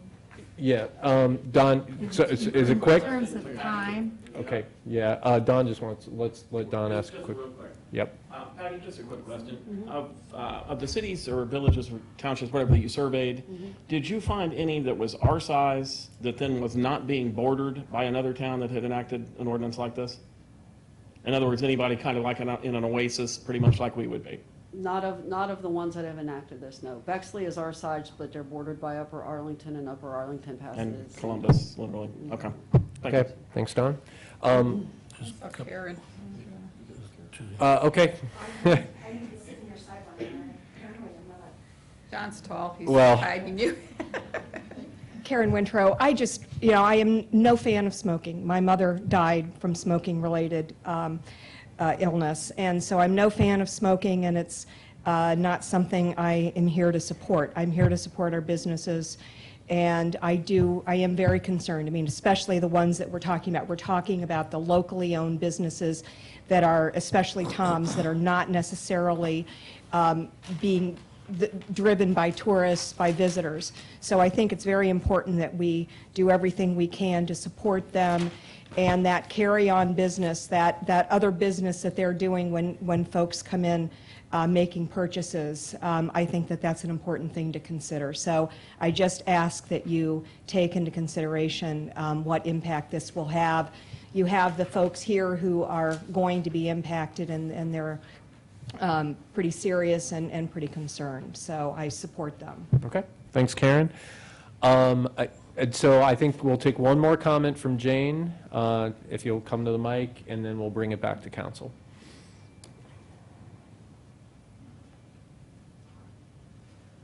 Jay Nipper, Nipper's Corner. Um, how is this going to affect our customers that are 21 years, 20 years old? They come in, we know they're over 18. We've already established that. Now we have to ask them, may I see your ID? And they say, well, you know who I am. Yes, I do, but we can't sell because you're not 21 yet. Do you know the crap that we're going to have to take? They're going to be mad. They're really going to be mad. And they'll think we're joking. We're not joking. We'll just say, I'm sorry, the village has passed an ordinance. You have to be 21 to buy cigarettes. They're not going to like it. They're going to go right up to Marathon and take all their business, their beer, their cigarettes, uh, their chips, their gas, all the way up there, or they'll go to Speedway and buy their stuff. We're already in co- competition of Speedway. We don't have that little card like Kroger does, like Speedway does. That's a draw. So every sale we make, we try to suggest another thing to make up for what we're losing. That's one thing. We have people that, uh, weekend um, visitors, they come in and they, uh, they want their black and the miles, they want their papers, they want their ciga- uh, cigarettes, and I ask them for their IDs. Well, I left it in the car. Well, you'll have to go get it because we ID here, and we're pretty tough about it. And I've heard so many uh, excuses about, I don't have it, uh, it's tattooed on my back. I don't care. And I'm going to tell them, no, I'm sorry, you have to be 21 to buy cigarettes here. You got to be kidding me. No, I'm not kidding you. It's a law in Yellow Springs. Well, I thought you could do anything in Yellow Springs. I get that anyway, but now it's more. No, you have to be 21 to buy cigarettes. I think that's very unfair. If it was federal, I understand, and I will abide by it. But we are so small, every penny counts. Um, and, and our, our three or four stores, Tom's and, and Don's and the Octopus, we're being penalized because we sell products um, that are not all federate, all uh, um, federal laws. It's something that we made here. I understand about cigarettes. I grew up with a, a smoker. My dad smoked. My mother died of breast cancer. I know how serious smoking is. I do not smoke. No one in my family smokes, nor do we drink. So I understand the seriousness of this, but I also know that I have to pay bills. And you take money out of my store, I get upset. Why do you think I have people on my lot? To try to supplement what I can't sell because I have to face um, Subway, uh, uh, Speedway. Speedway up the street. They already come in and complain that our prices are too high. I'm sorry, we're a mom and pop store. We don't get discounts. So every penny counts. People are going to lose their jobs. Don knows he's got three stores and he's got businesses to run. We just have the one store. You know, we can't move money around, money around, and try to hope to God we make the payroll. Okay. That's my main concern every two weeks, is Right. making a payroll. And Jane, that's over three minutes, but I think the point has been well stated by many people, so, um, did, you- Okay. anything else that you? Uh, no, but we're the only store open after 10 o'clock, 11 o'clock maybe. Speedway closes 10-ish most Mhm. days, so between 10 and 12, there's no place that you can buy cigarettes. And we get the people from the bars Mhm. coming in buying cigarettes after they've been drinking. Okay. So we're the only place. Okay, thanks, Jane. Thank you. Okay, um, y- you know, uh, we will be discussing this at another meeting, I presume, but we did allow 20 minutes. Um, What? We're not going to discuss it now? Well, I mean, I'm saying we, it will come back because we will decide what we're going to do, right? I mean, I, I, so. If we make legislation, If it we, will- we there are will going to be make a a, proposal now. Um, so, uh, so there will be, well, let's just, let's have a discussion. let's talk Yeah, amongst council. Okay, yeah, Yes. I'd like to talk.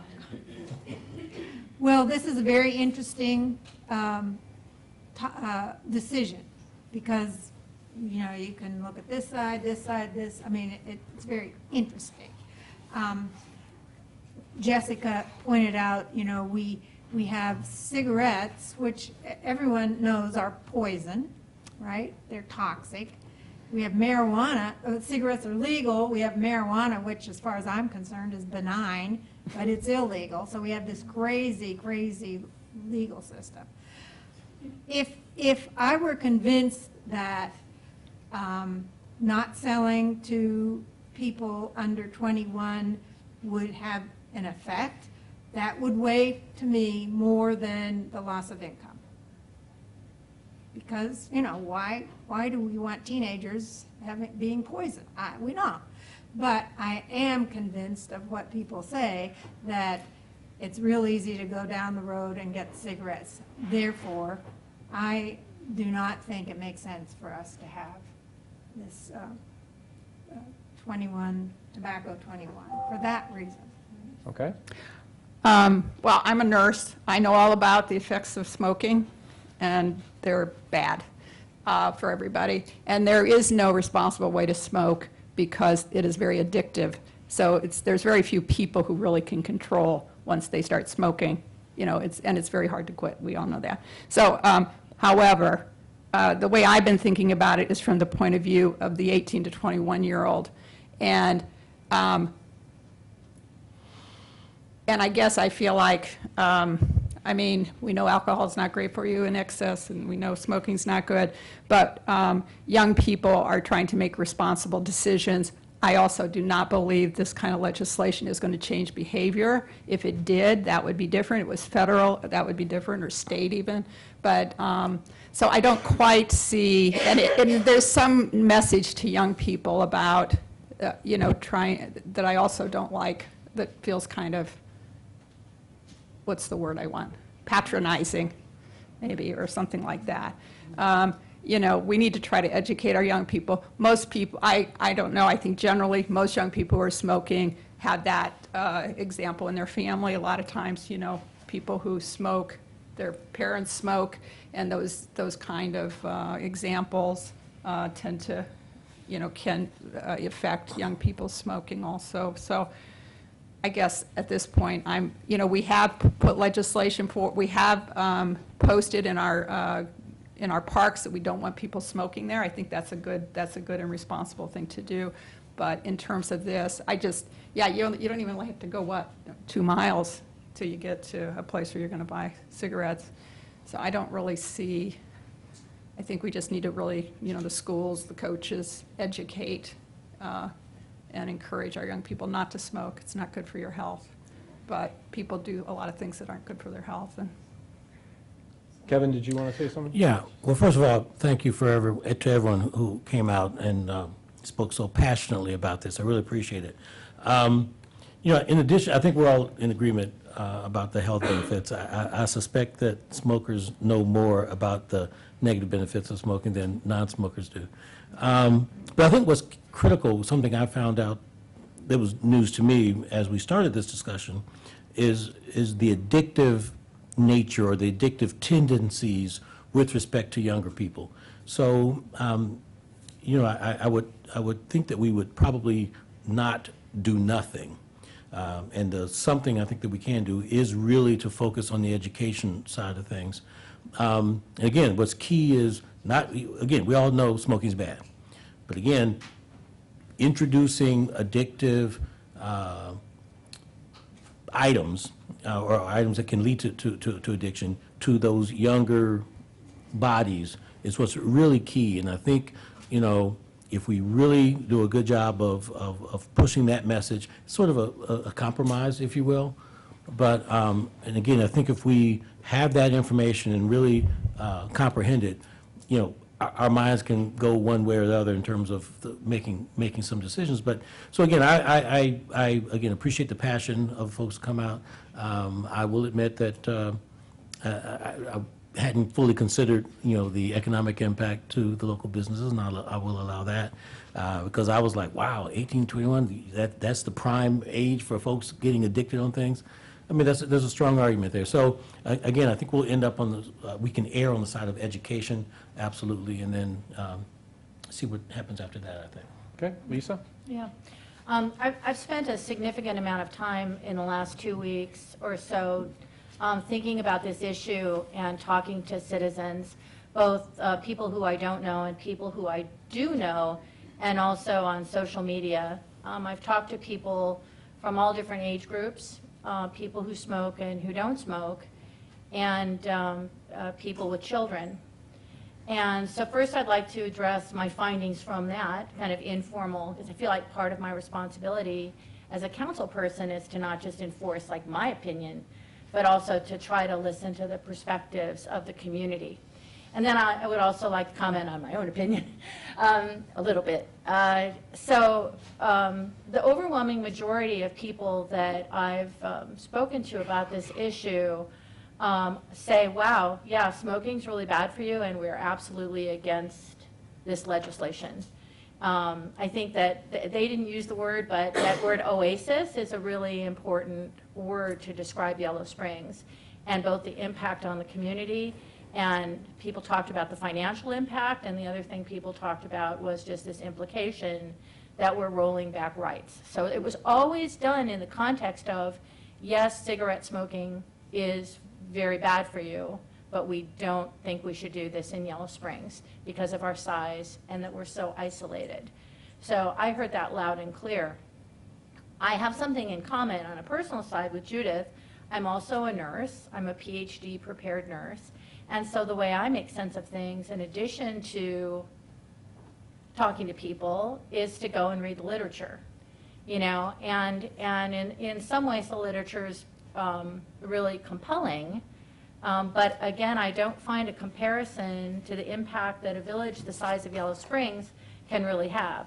Like you, Mr. Nipper, if this was a statewide initiative, I would be saying, absolutely, I'm in favor for, of it. But I think that we can't have the impact that the data show in a community this size. So I do think that I was really glad to hear that you're taking a hard line on enforcement, because one of the, one of the things in the data is that the majority of 15 to 17-year-olds who start smoking are getting their tobacco from 18 to 20-year-olds, and presumably if you're over 21, you won't buy tobacco for a 15 to 17-year-old. I'm not sure that I really buy that. I think they're in, still in colleges together, but I think enforcement and education are really, really important. Um, So thanks for all the time to talk, but at this point, I do not think legislation makes sense, and if it was brought before me, I would vote against it. Okay, thanks, Lisa. So um, I'm going to express what I've heard, and with the qualification that I understand a few more people want to speak, but for this council, hearing the same comments by uh, multiple people is not what we're looking for. Once we've heard the comments, we understand and, and we accept those. And so what I've heard is that council in general is opposed to uh, the legislation. Um, Patty has, uh, brought forward an idea, which I think um, is something we should consider, which is a resolution showing our support for state legislation for Tobacco 21. Uh, And that is something that I would like to suggest that we do bring back, um, because uh, the main arguments that I've heard, and from what I've heard that other council members are compelled by, is that just doing it in our small town when it's not applied to the county and beyond is problematic. And um, that is someone, somewhat compelling to me. I will say, I take issue with the idea that anyone has the right to smoke because it is so bad for your health. But that aside, I have to look at the overall impact of this kind of legislation. So um, I would like to close the discussion with that proposal unless somebody really thinks they have a comment that has not been addressed, but I think we've heard it. All right, so I'm, I'm willing to let you come up to the mic then, and please make it an original statement. My name is Matt Raska, and this is clearly an escalation of the drug war, which has been a total failure since the 60s, as well as a heir to prohibition, which was also a total failure in the 30s. Okay, thank you. Okay, so with that, um, I put a proposal on the table. Is that something that council? Motion. Okay, so I'd like to move that we bring uh, a resolution in support of a statewide Tobacco 21 bill. Second. All those in favor signify by saying aye. Aye. All right, thank you for the discussion, and I also appreciate, Shanaz, everything that you brought to us about this as well.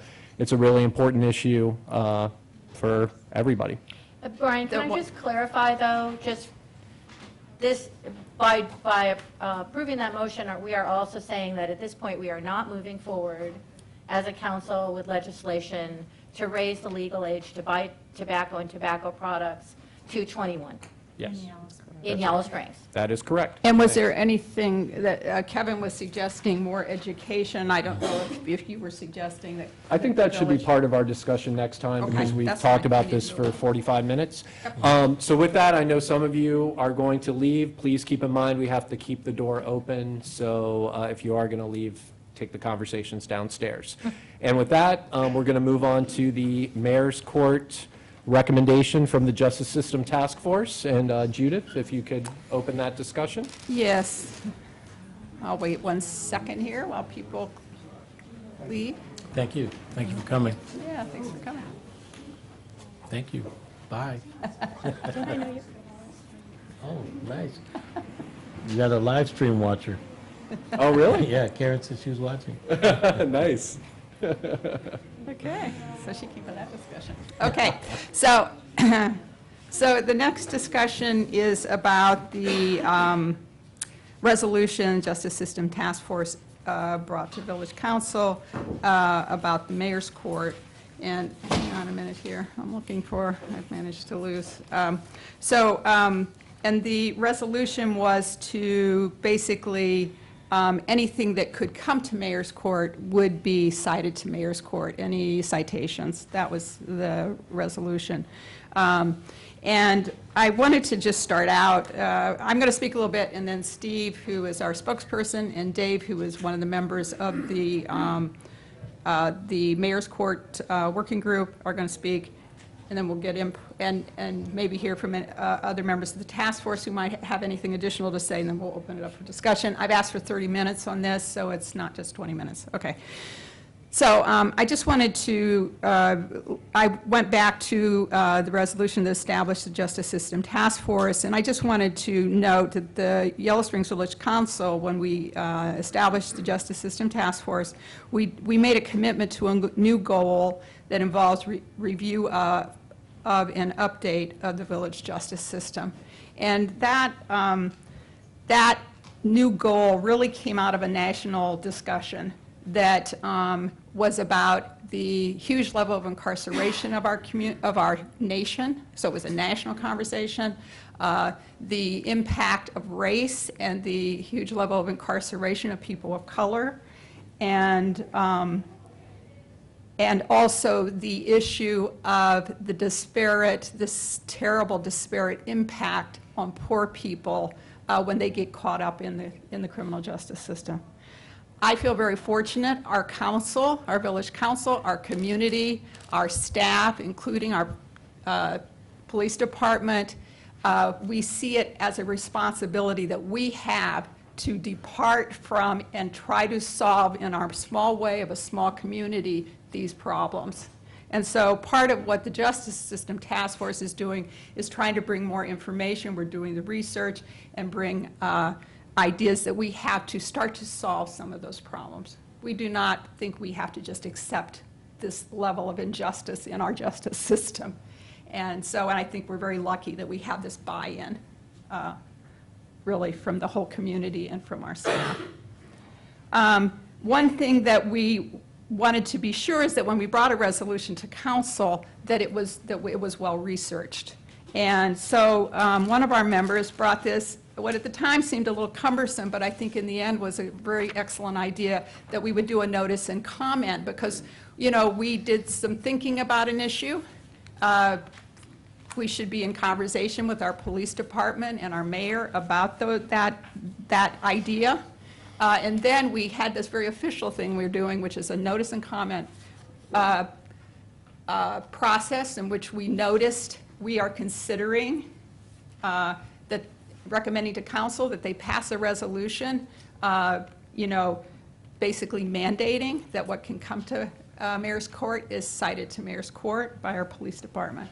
Um, We, we put that in the paper to get public comment. We noticed it in the Yellow Springs Police Department. I brought the notice to our chief um, to actually post it in, you know, the department, so if there were individuals uh, in the police department uh, that had comments, that they could do that, um, as well as our chief.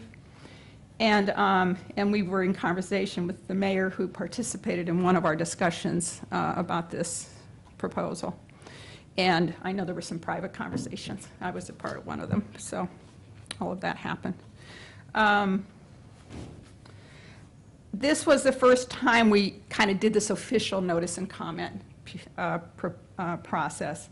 And I will say that um, it obviously did not garner the information that we had hoped to have before we made our final recommendation, because in the packet now, we have, you know, our recommendation, and then uh, both the chief and, and I think we tried to address, at least I thought I was addressing Pam's wanting to hold off for six months, but I think we, maybe we're a little bit ships passing in the night, because what I had suggested and what the committee had agreed to, which was a six-month um, uh, that we wait six months. I had understood it, we wait six months and then it's implemented, but I think Pam evidently meant something slightly different, so, from her comments. So that's all I want to say about it, uh, just to, uh, I think it's a very good process, I do want to say that, and I think we need to tighten up that process so we get those comments ahead of time in the future. But anyway, I want to give the floor now to Steve, who is our spokesperson, and to Dave Turner, who's, they're doing a tag team thing, I hear. All right. Hi, uh, yeah, the hat I'm wearing today is a spokesperson for the Justice System Task Force. I really don't have much more to say than that. I didn't realize you were going to go the full Oh. opening. Like, that's a, Oh, okay, I would sorry. say that that would be the best intro. Um, I would just add that I'd like to thank Laura Curliss for her expertise and time, uh, being as one of the committee, uh, people on the committee with- to help out with uh, Dave Turner. Um, But the research is there. Uh, The numbers show that they've declined, and they're already showing that they're on an upswing.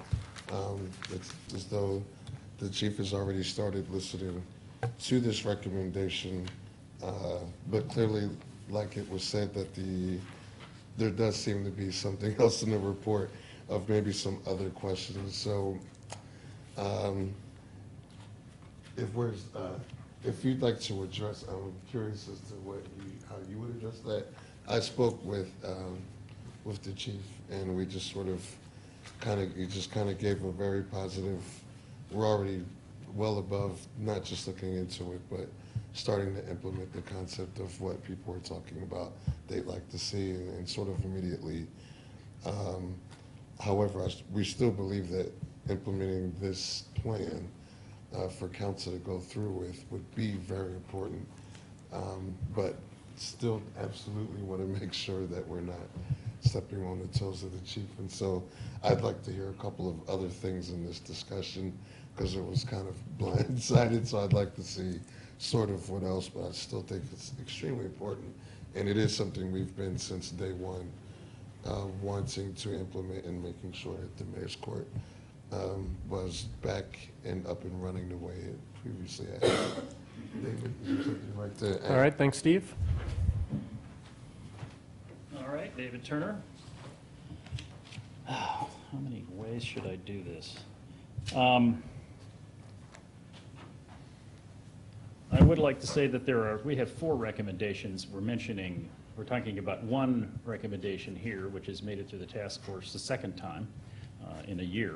Uh, And uh, we have several, and they all, I think, work together. You know, a diversion program is something that we've been recommending. I was talking with the chief earlier. He said they've already started doing some of those kind of things. So this recommendation doesn't really stand on its own, and I think it's important uh, to see that. I also think it's important that these recommendations are be seen as recommendations. Uh, Marianne made a great suggestion a year ago in the May 1st meeting, I think it was, saying we you guys should create a box, put all the recommendations in it, and then when you get all of them, figure out what to do because of the interaction of them, and you might do something that's going to have an effect on something else you've already done. So if you look at them as a group, you can better avoid doing things like that. And some of the things that we're recommending with diversion and uh, this mayor's court recommendation that we're talking about tonight work together like that.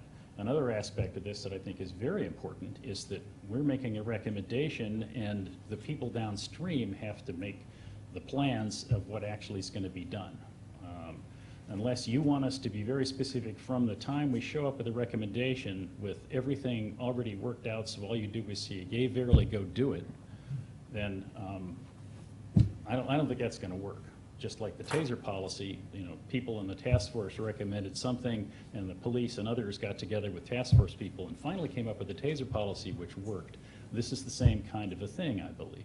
So with that in mind, on May 1st last year, I said, and I looked it up on the video because I'm that kind of guy, we recommend the village manager direct the police chief to send all possible cases to mayor's court. Now, a year and two weeks later, I'm saying the same thing, only it's got whereases and hereuntofor's in front of it. Now therefore be it resolved that the village manager is directed to work with the chief of police to ensure all misdemeanors that can be charged to mayor's court are charged to mayor's court unless jurisdiction is otherwise placed in another court by law. Do it by November 1st of this year.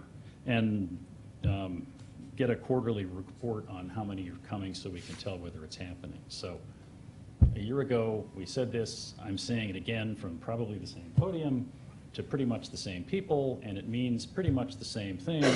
My personal view is downstream, the, the things need to be fleshed out, and some of the concerns that you've raised, and, well, yours are taken care of, Pam, by, we gave you another six months, uh, and you talked about, Chief, I think, uh, can be, you know, can be dealt with by looking at these things as a group, as well as um, people uh, who were involved in it, uh, looking at all of the things at once. So that's what I have to say about this and in general. And I would encourage the council to provide us with some more guidance about what form you want things to come to you in. So we don't spend a lot of time doing work, coming with something and then hearing, well, why don't you think about this thing that we didn't tell you you wanted, we wanted you to think about? So what else can I say to make your day better? Uh, That you'll pass the mic to the next speaker? Oh, okay. But that, thank you, David. I think that was clear. Um, We do have two other members of the task force, and so, uh, or three other members that I see. Um, And so I was just like, if I had time to kind of give, I would, I think I'm sure they could help as well as this. Okay.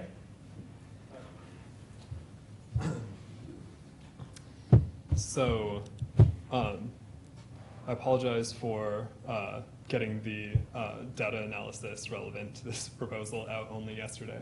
Um, I'm not sure if you guys have had a chance to review it. Um, however, you know, it's evident that at least as recently as, as 2017, um, that, uh, you know, 79 or 59% of the license registration and insurance citations were being cited to municipal court, and um, 83% or 15 of the equipment violations were being cited, I'm sorry, not mayor's court, to municipal court, um, and 15 or 83% of the uh, equipment violations were being cited to municipal court also. Um, And then I I also just wanted to clarify a little bit about the, the process here. Um, We, we did uh, adopt um, actually two different policies trying to anticipate the, the problem of um, having incomplete recommendations. Uh, the recommendation uh, development guidelines, um, which proactively encourages our members to um, contact the police chief, um, any stakeholders, the, ma- uh, the mayor, um, regarding their opinions about our uh, about the recommendation that, the- that they're developing. And indeed, um, when it was presented to us, uh, the Mayor's Court Working Group stated that Chief Carlson was in support of this recommendation. Um, That was the understanding of JSTF at the- at the time. Um, I guess uh, Carlson could probably explain that a little bit more. Um, I I don't know if you want to say anything, or do do you want to wait until later? Sure. Okay. Um, Yeah, if you want to finish your yeah, thoughts. absolutely. then- And then I just wanted to say that, I guess at the time, I did feel that this recommendation was going too far, so I proposed an amendment um, to basically retain discretion for assault, aggravated menacing, menacing by stalking, aggravated trespass, telecommunications harassment, victim or witness intimidation, sexual imposition, and hazing. Um, Of those, assault, menacing, and uh, uh, by stalking, and uh, aggravated trespass are already um, must go to municipal court if the victim is a family member or household member. Um, not that the victim or anyone involved is, you know, family member or the household member, you know, with the with the perpetrator. makes it up. But you know what I'm, you know what I'm saying. If it's like a domestic violence kind of situation. Cohabitation. Cohabitation, exactly. Um, and I feel like that's probably a good framework for moving forward. I feel like there, you know, if the 2017 data is any evidence, there's still a lot of things that um, I think people feel ought to be going to mayor's court that are still going to the municipal court, um, but that there are other things that perhaps it does make sense to retain officer discretion for. And so my own position is it would be nice to send it back to committee and try to um, hear the, the concerns in full from the, from the police um, and try to understand, to sort of more narrowly tailor the recommendation. Okay, thanks, John. Um, Are we ready to hear from uh, Mayor Conine or the chief? I'm happy to. Okay, Mayor? Pam Conine, Yellow Springs Mayor. Uh, John, thank you for your comments. I want to branch off and build on a couple of things you just said that I find to be of interest. I want to thank the Justice System Task Force for their valuable and insightful work that they've given to our community. They've made a recommendation to council that Dave quoted, all misdemeanors that can be charged to mayor's court be charged to mayor's court unless uh, jurisdiction is otherwise placed in another court by law. John outlined what some of those cases are. At this point in time, I am not in favor, as uh, the mayor, of the village manager directing the police chief to ensure that all cases, emphasis on all cases which are eligible to come before the mayor's court be directed there. It's my feeling that officer discretion in the field as to where a case is cited seems to be working currently and may in fact ultimately help the defender. And here's why. During my own learning curve since taking office on January 1st through discussions and meetings with various Greene County Municipal Court lawyers and judges, I've learned there are many resources available to some defendants whose cases are adjudicated in Xenia, especially in the areas of mental health and chemical dependency, that are not as easily available to them in Yellow Springs. Services through the Xenia Court can be provided quickly and with support and with follow-up. So why not start these services here, some might ask? And instead of growing our bureaucracy, which would include an increase in personnel costs and costs for additional services, the mayor's court wants to utilize current community-based local resources that fit the culture of our community in a cost-effective way. That was the platform on which I ran, it was the platform on which I was elected to be the mayor of the village. Now, I'd like to remind the council there are many individuals relating to the mayor's court who are relatively new to their position. We have a new mayor, a new chief of police, relatively new, new clerk of court, new community outreach specialist. This, what I call a confluence of newness, hasn't happened historically in our village government, at least based on my research. I can assure the council it's a new day in mayor's court. We have increased communications with the police department, including clarifications and expectations procedures. Technology has been updated and is being used effectively.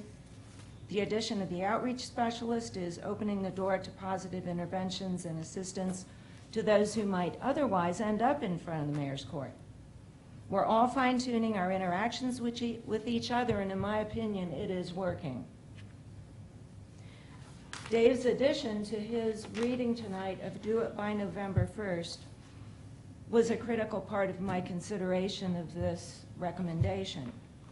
At minimum, Mayor's Court simply requests additional time before the council considers the recommendation before them from the Justice System Task Force, this first recommendation.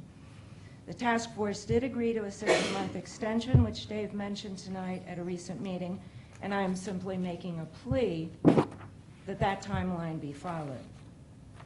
Now, in addition to that, too, this would give us a full year of data sets going forward that we could examine from 2018 onward, which is what I'm interested in. Historical data is useful, but it also reflects, if we start going back over a decade, we're looking at prior police administrations, prior chiefs, prior officers who are no longer with the village. I'm interested in January 1 onward for the bulk of our examination for this question. Thank you. Thanks, Mayor Conine. Uh, Laura? Thank you very much. I've spent probably 50 hours on this, and the problem is police discretion. That doesn't mean every officer is bad. It doesn't mean that there aren't, there isn't good training going on or that we don't have a good chief with a good heart. Here's what officer discretion has meant for this village in the last four years, and I thank John for his good work with these statistics.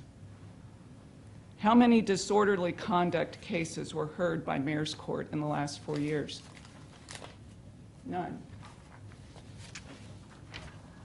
How many marijuana possession or, or paraphernalia cases were heard in our mayor's court? None. Well, you've got 2013 to 2017 on this. But I, I read that there's With eight. 54, with 54 cases, illegal use of possession of marijuana, drug paraphernalia, all in Muni Court. Oh, Okay? Oh, uh, Tail lights, illumination of rear license plate, two lighted lights displayed. Those cases all apparently had to be heard by a Muni Court judge and not a mayor's court. By the way, lawyers know that those kind of cases are often called pretext stops. Driving while black, driving while young. We cannot start to change justice in this community until we can actually have our own mayor hear these kind of cases. The vast majority of the over, of all the cases in the last four years, more than half of them were sent to Muni Court. And let me tell you, you do not want to go there. There's a lot of reasons for that. The judge, the way they do things, the cost down there, the difficulty of negotiating any kind of plea, the lack of caring about factual basis, the, the, the fact that you get into a system that is way more punitive than what we could do here. I could go on and on. And then some of the most, most dis- um, politically charged cases, obstruction of justice, resisting arrest, none of those came to our own mayor, including some cases out of the New Year's Eve incident, which is partly how I got involved. And I got involved by, by representing individuals who I'm, I, I just immediately asked myself, why is this case not in mayor's court? Why in the world Yellow Springs citizen, Yellow Springs property, Yellow Springs this, Yellow Springs that, and why are we in Xenia?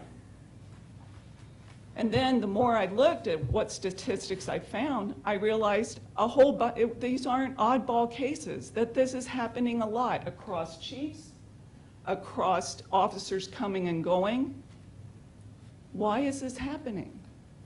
I think it's happening for a lot of reasons. You get young officers, you get new officers, they know, they get trained at OPOTA in the revised code, they don't get the same, you know, they need a cheat sheet for our um, parallel ordinance. I think setting the tone that you all could do by passing this resolution will set the tone. We want those cases here so we can do, dispense Yellow Springs justice, which hopefully is kinder, gentler, more understanding kind of justice. Plus, hopefully, we do a diversion program and, and really ramp up the kind of justice we want to see here. Thank you very much, and I'm happy to answer any questions. All right, thanks, Laura. Uh, Chief Carlson?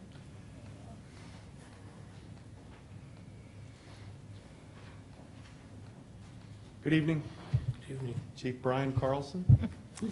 Uh, I want to thank Justice System Task Force in the passion. I've been in discussion with them since uh, I became interim chief. Some things I'd like to tell you that are factual and haven't been discussed this evening. We uh, have literally been working in the new administration with the mayor for four months. The new mayor didn't begin mayor's court until the end of January. I have 2018 stats. Um, In January, with a new mayor, we heard 59% of all cases that came through the police department. February, it jumped to 83%. March, 79%. We're currently working on the stats for April. We're a month behind in our progression, but the numbers are showing that we are doing what we've discussed. I understand the ill effects of previous administrations on the public. The reality is, I've been in this position for less than a year as permanent chief of police. I'm simply requesting that you give us more time to look at a full year of data with the new administration. Within the last few days with the mayor's office, we've been working on a program that Ann and the mayor have put together with the police department to adjudicate and have disposition in cases that can be through mediation, which the mayor has already accomplished in a case, through work with our social worker, which is already in process, and to work with the police department on understanding resolution-oriented policing, which is, I think, why I'm here. I'm on the same side of the argument as the Justice System Task Force, but I do have issue with being mandated to make my decisions. And I'm speaking as me, as an officer. I am on the front lines. I am arriving on scene to save a life. I am understanding the totality of circumstances in the cases that I hear. I've said it, and I can't, I, know that it becomes a continuing discussion, if you will, but this is gonna take time. The police department in Yellow Springs, specifically, we didn't end up where we are at the, in 2017 overnight. It took time. It's going to take time to climb out. What I am interested in is how things are going now, currently. And I feel very positive and confident in the direction that the department has taken. I appreciate the hard work John has done on the statistics, but to me, and don't take this the wrong way, but those don't matter. It's, we have a new mayor in 2018, a new administration, and where are those numbers? And I'm, that's what I'm telling you now. They are growing, and we're looking real good. When we say 79% of cases, all cases sent to mayor's court in March, that's probably close to 100% of what can go. I'm working on the stats. Patty has asked me, but what cases did we send to mayor's court that, or did we send to municipal that could have come to mayor's court? And I can tell you, it's on one hand, I can count the cases. And they fall into the categories of what we can't send to mayor's court. So I'm simply asking, and it sounds like John and Dave both kind of, and Steve, we're on the same playing field, that I think the dialogue needs to open now where we have these discussions. I can present in private consult why this particular case didn't go and explain that. I can't do that in a public forum. Mm-hmm. Did that make sense? Yes. I'm extremely tired. and Yes. very sorry. Well, okay. Thank you, Chief. Any questions or anything? No. Thank you for hearing. Thank you. So, are we, yes? Uh, I didn't know if you wanted Chris to say anything. Well, I mean, we do have Chris's report. Uh, Are we ready to discuss as council a little bit? I mean, I- I've, I've heard some great comments myself. So why don't I start? Um, uh, See? All right. There are two things that are important to me because um, some issues came out recently um, that, I'll be honest, I was a little bit frustrated that we never really dug down on some of the key issues for, and we've discussed this for several years now, and finally, you know, I'm, I'm starting to hear things that impact my decision. So there are two things that are important to me. One is understanding what kinds of cases need those county services, and, you know, just how many of those are coming through our mayor's court, or could potentially come through our mayor's court.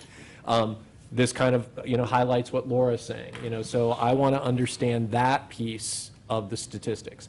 The other thing that I didn't hear mentioned, but I thought was compelling, is uh, the potential for us to be responsible for the cost of incarceration. So again, I want the same understanding. What potential do we have to be hearing those cases in mayor's court?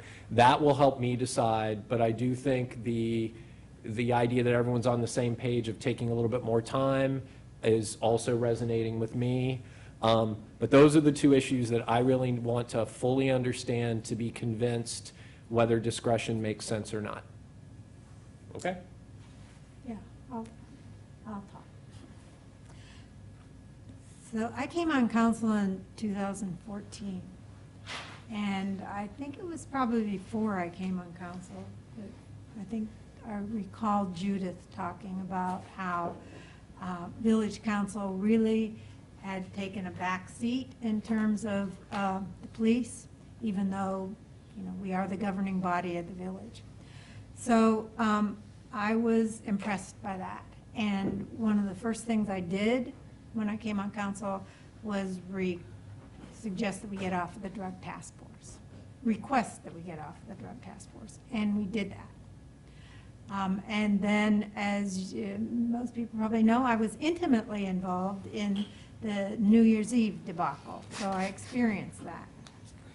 The Justice System Task, and I also worked with Judith to get the Justice System Task Force started. The Justice System Task Force was actually started before the New Year's Eve incident, and we had our previous chief at that point.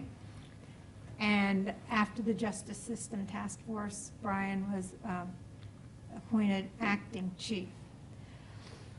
I think that since Brian, well, no, I think that since we've had, um, at least Brian and I and Judith, the council that we have, and Brian and I came on in 2014, council had begun to start saying, okay, we want to take responsibility for what's happening with the police department, and we want to change the culture.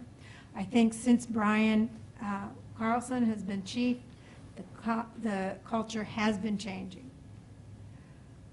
I, um, I think that in some ways, this recommendation from the Justice Task Force is a recommendation that had we had the former chief of police, I would have said, yeah, do it, because it's clearly not happening. But I do think the culture is changing, and I would rather put our emphasis into telling the chief, we want all cases that can go to mayor's court, that reasonably should go to mayor's court, go there, unless there is some compelling reason. And I would rather trust that the chief is educating the troops on that than to basically not trust the officers to have that discretion. I think that the officers should have discretion, so I do not support the recommendation as it is stated. I do think that council wants to definitely give the police chief, well, our village manager and the police department, the understanding that we want any cases that are reasonably to go to mayor's court should go to mayor's court. Both the chief and the mayor, I think, have said they support officer discretion, and I um, am swayed by their statement. Kevin? Ditto. Um, You know, Chief and Pam, they're, they're doing what we're asking them to do. Um, uh, And I think they were doing it before, you know, any hints of a resolution came about. I think, uh, to Pam's point, she came into office, and uh, I believe Chief did as well, with these kind, kind of things in mind. Um, you know, at the end of the day, you know, smart people hire smart people. That's what Steve Jobs says, uh, said. Um, And I think that's what we've done. And we've got good people uh, doing the jobs. Um, And, you know, I think we, we let folks do what they want to do, with what they're hired to do, rather. Um, And, and I think mo- morale is important, um, you know, across the board. Um, In, in the police force, I think uh, everybody wants to feel that they're supported um, and, and being heard and, uh, and that what they're doing makes a difference. So, again, I think we, uh, some people call it, we are in violent agreement. We are all saying the right things, we're all, I think the right things are being done. Um, So, um, you know, I don't know that we, I don't, I, I, I- I do know. We do not, in my opinion, need to mandate that the people who are doing good work continue to do good work. So I support uh, Chief Carlson and Pam in what they are doing and would uh, just, with all of my might, encourage you to keep being who you are and doing what you're doing. All right, Lisa? Um, I, I'd like to thank all, I- there's the number of hours that have been put into this, like particularly highlighting that this began over a year ago. And the cumulative numbers of hours that have been spent on this, I think, need to be recognized. Um, uh, Piggybacking off what, what you've said, Kevin, um, it- to me is the problem of not getting to some point where we have legislation. Um, Smart people hire smart people, yet people who got us to where we were, which is where we didn't want to be, were hired in this village. Right? So either we're saying that those people weren't smart, you know, I mean, I, I don't think that we can count on that. So my concern always is that, um, right now, we're in a great, we're in a good place. You know, we have our chief, we have a, a- a, you know, the mayor in place, we have the capacity to have a mayor's court. But just as these people have changed, so could they change again. And so unless I think we have something that reflects the village values that we can communicate to our community, as well as our police, I think we're running a risk in the long run of having erosion from the direction that I think everyone in this room wants to head. So, um, and, and again, this is not uh, saying that either, Chief, what you're saying about discretion isn't important, or Pam, what you're saying isn't important, and in fact, I, at this point, don't support saying there's, you know, no discretion, but I, I was surprised that, that the Justice System Task Force and these reports didn't seem to be connecting together um, when we came here tonight. And so I do wonder if there may be some threshold by which we say, uh, you know, set some, you know, license, registration, and insurance, you know, I mean, I want to unpack why is there, what's going on behind the discretion? Is it indicating a lack of confidence in the mayor's court? What, why are the police, you know, having that discretion for certain things that are very low risk? I don't know. So I'd like to have it go back to um, the commission. One other point, uh, to my, to my point that I think we need to move towards something legislation is, I get your point, Mayor, about the confluence of newness, but all of, like you, I'm serving a two-year term, right? I know the learning curve I'm climbing. I imagine you're climbing that learning curve too.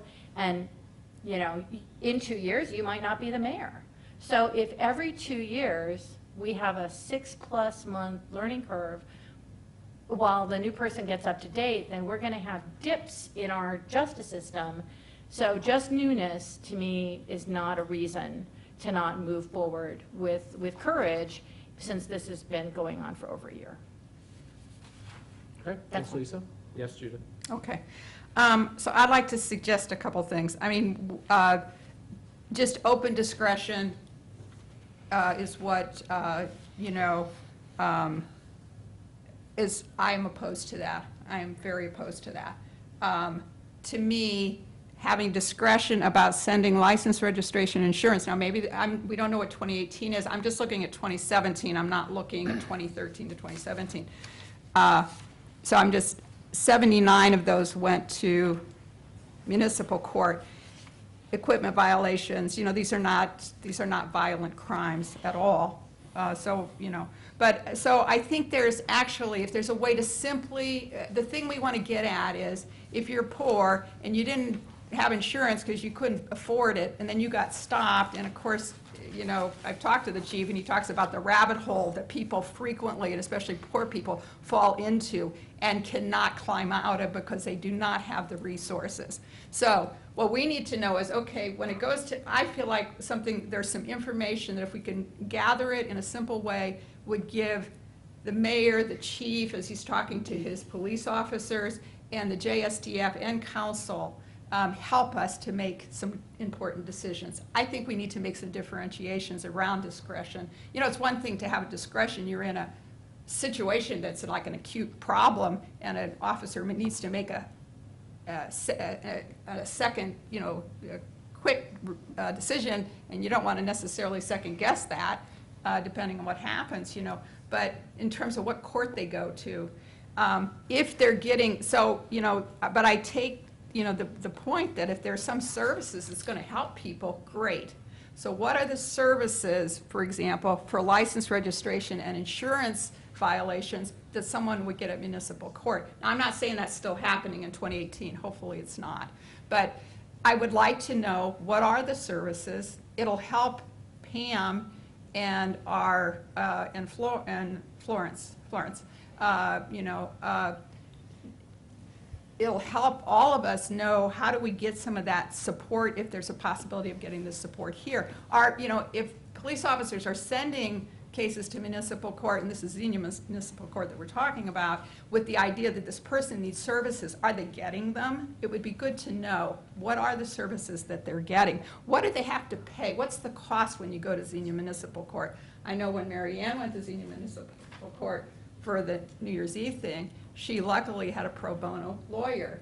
If you're, you know, so, you know, it can be quite costly. And uh, so that's, so, so to know what it costs to go there versus to go to the mayor's court, um, I, the, the under, the overarching issue is this, to me, is the disparate impact on poor people. And part of doing, uh, getting this better information, because our police officers, you know, I'm just going to say, we are, you know, believing that they care, and that's why they are police officers. They are trying to help people. But, you know, my guess is they've got some ideas of, yeah, there's some things that go on. I see it because I'm in part of this that are unjust to poor people. They must see that, you know. But what's to be done about it? What role can they play? And this is all, as we all get better informed, it will help our chief to say, you know, when you're using discretion, say it's a, a violent crime or, I don't know, OVI or something like that, you know, how, how do, can we do this that's the least detrimental to the person, that's going to most help them? And so you're having this conversation in your department where everybody's kind of getting on the same page, not that individual circumstances aren't always different in these cases, but a way of thinking about it. And that's the kind of conversation if we have better information. So I have a list of things. If it's sent to Xenia Municipal, one of the things I wanted to ask is, can we ask the police officer who does, makes that decision, to write a very short paragraph, why? Why did you make that decision? So we can understand what's the thinking behind it. If there's a good reason, great. We need to understand it, you know. And I think this could be help, very helpful to the chief, I would think. Um, what services, like I say, you send them there for services, did they get them? How much did it cost them, you know, to have to go, to have to defend in the municipal court? Um, so that we, you know, the, um, what's the cost at the mayor's court? Um, and this whole, again, getting back to, you know, there's some things where there's always going to be, there always has to be some discretion. There's just no, you know, that's just part of it, the job. It's, but, you know, there's some areas where maybe discretion doesn't make sense, and we want to differentiate that. So Mhm. I think if we can gather more information and have the support of the staff, you know, Patty and the chief, uh, of finding ways to get this information, and, and the mayor too, because the municipal, I know you've been asking for information there. If we could, if the committee could, you know, kind of gather, this is the information we need, because if we're going to do a year's worth of data collection, we need some more detail to it. And um, that's the way I feel. And then that will help to, I think it'll help the chief and it'll help everybody. And so we can get, you know, behavioral change if, if that's needed without all the attenu, all the attending uh, difficulties that these, you know, when people get in trouble with the law that can just be very hard to, I mean, there's a, there's a great report, uh, I brought it with me, ACLU, how Ohio's debtors' prisons are ruining lives and costing communities, and uh, the outskirts of hope is what it's called. And, um, you know, there's a book that we're looking at and the disparate impacts on poor people uh, and how we ameliorate that called It's Not a Crime to Be Poor. There's, there's a lot written. ACLU's done a tremendous job. This is about Ohio. And there's actually, it actually went after a mayor's court that was sending people to jail who could not pay their fines. And I know Pam's not going to do that, but, but you know, it's just, and it's not very far from here. It's a town not very far from here um, who's doing that. And it, and they talk about individual people, personal stories, young families, where they're, you know, it's just uh, causing a lot of havoc potentially in people's lives. And of course, we're not doing that, but we want to do it as best as we can to the opposite of that. so. So I guess, just to summarize, I want to reiterate, this has been a great discussion. This is the first time that I think we've really gone beyond just like, you know, this, this flat statement of whatever goes to mayor's court, goes to mayor's court. And we're starting to look at the nuances. And that's what I think I'm hearing, there's some consensus. I don't, I don't really see two sides anymore. I see that we need some more time, we need some more research. As part of why we need that time, we need to refine what this means in terms of, you know, some guidelines around what, you know, the discretion is about, right? So there are things that obviously should go to mayor's court. There have been some good points raised about why they should not. And so, as Lisa and Judith both pointed out, putting that in a clear framework, I think, is important. It will help with training. It will help the police department as a whole do what Chief Carlson wants uh, to happen. So uh, I think it's a great discussion, and it sounds like uh, we will revisit this, and yes. I would just like to have some clarification on who is supposed to gather what information, because there are a lot of things that. Why have don't asked we, for, why don't just you wanna and I, make maybe sure that- Chief, and I don't know if Lisa wants to be a part of it, sit down together and kind of look at this, and, and maybe the mayor too, because really it's um, partly um, stuff we need to get from Xenia, and I think as a municipality, we shouldn't have to beg for that information, and, you know, or, and I don't know how we do it, yeah. There is a request out from the clerk Yeah. for information from Xenia, and she's quite adept at this, so she, Okay. she may She's be the good. perfect, perfect person. Okay, Okay. oh, cool. All right, thanks, Mayor. So we'll have it. Great. Uh, Thank you, everyone, for the discussion, and um, we are going to move forward because I do want to uh, complete at least our uh, discussion on fees for event services. Um, And Patty, I guess you are leading that one off? I guess I am. Let me get to that point. Um, So, um, again, this, what is in your packets tonight is just uh, the same information that you've had in previous packets. It's a reiteration um, from February of uh, the different things that we do charge for, or the different things that we supply services for that we do not charge for, what those services are, and apparent- uh, approximately what they would cost us. Um, Keep in mind that these are uh, staff hours only. It's not anything to do with any rental on equipment or wear and tear on anything. Um, And then you also have our recommendation uh, for potential charges if that's the way council uh, wants to go. Um, If your event is estimated by the village to cost less than $200, there would be no charge from the village unless you have it on village property, in which which case the established rental fees would apply. If your event requires strictly staff time and the amount that exceeds $200, you'll be charged for the staff time at a rate of $25 an hour per employee. For anything that exceeds 200, um, if you require temporary electric, it's $100 per panel. Hanging large banners is $150 per occurrence. And small banners is $10 per occurrence, and I apologize for the yawn. Okay. Um, So we had some great information in the packet. We've had a couple discussions around this issue right now. I guess the first thing is, I, I think council should articulate any questions or comments that we have, and then maybe that will direct, I know Karen and Alex are here to answer any questions. Um, But I guess honestly, I, th- I think, I think we've been presented pretty clearly with the information, so, um, yes, Lisa? Brian, I'm going to interrupt you with something totally off topic on Okay. the unlikely chance that I'm on camera down here. I'm sending really clear body language of sitting with my back to the council. That's because I have a broken foot, and my foot is up on a lift over here. So if we're having conversation, I'm sitting like this. This does not mean anything. Sorry to interrupt you, but I really felt it was important to mention. It. Yes, Okay, definitely. go ahead. Okay, so, um, do we have any particular questions, comments about this issue? Um, okay, uh, Well, go, yeah. Marianne? Um,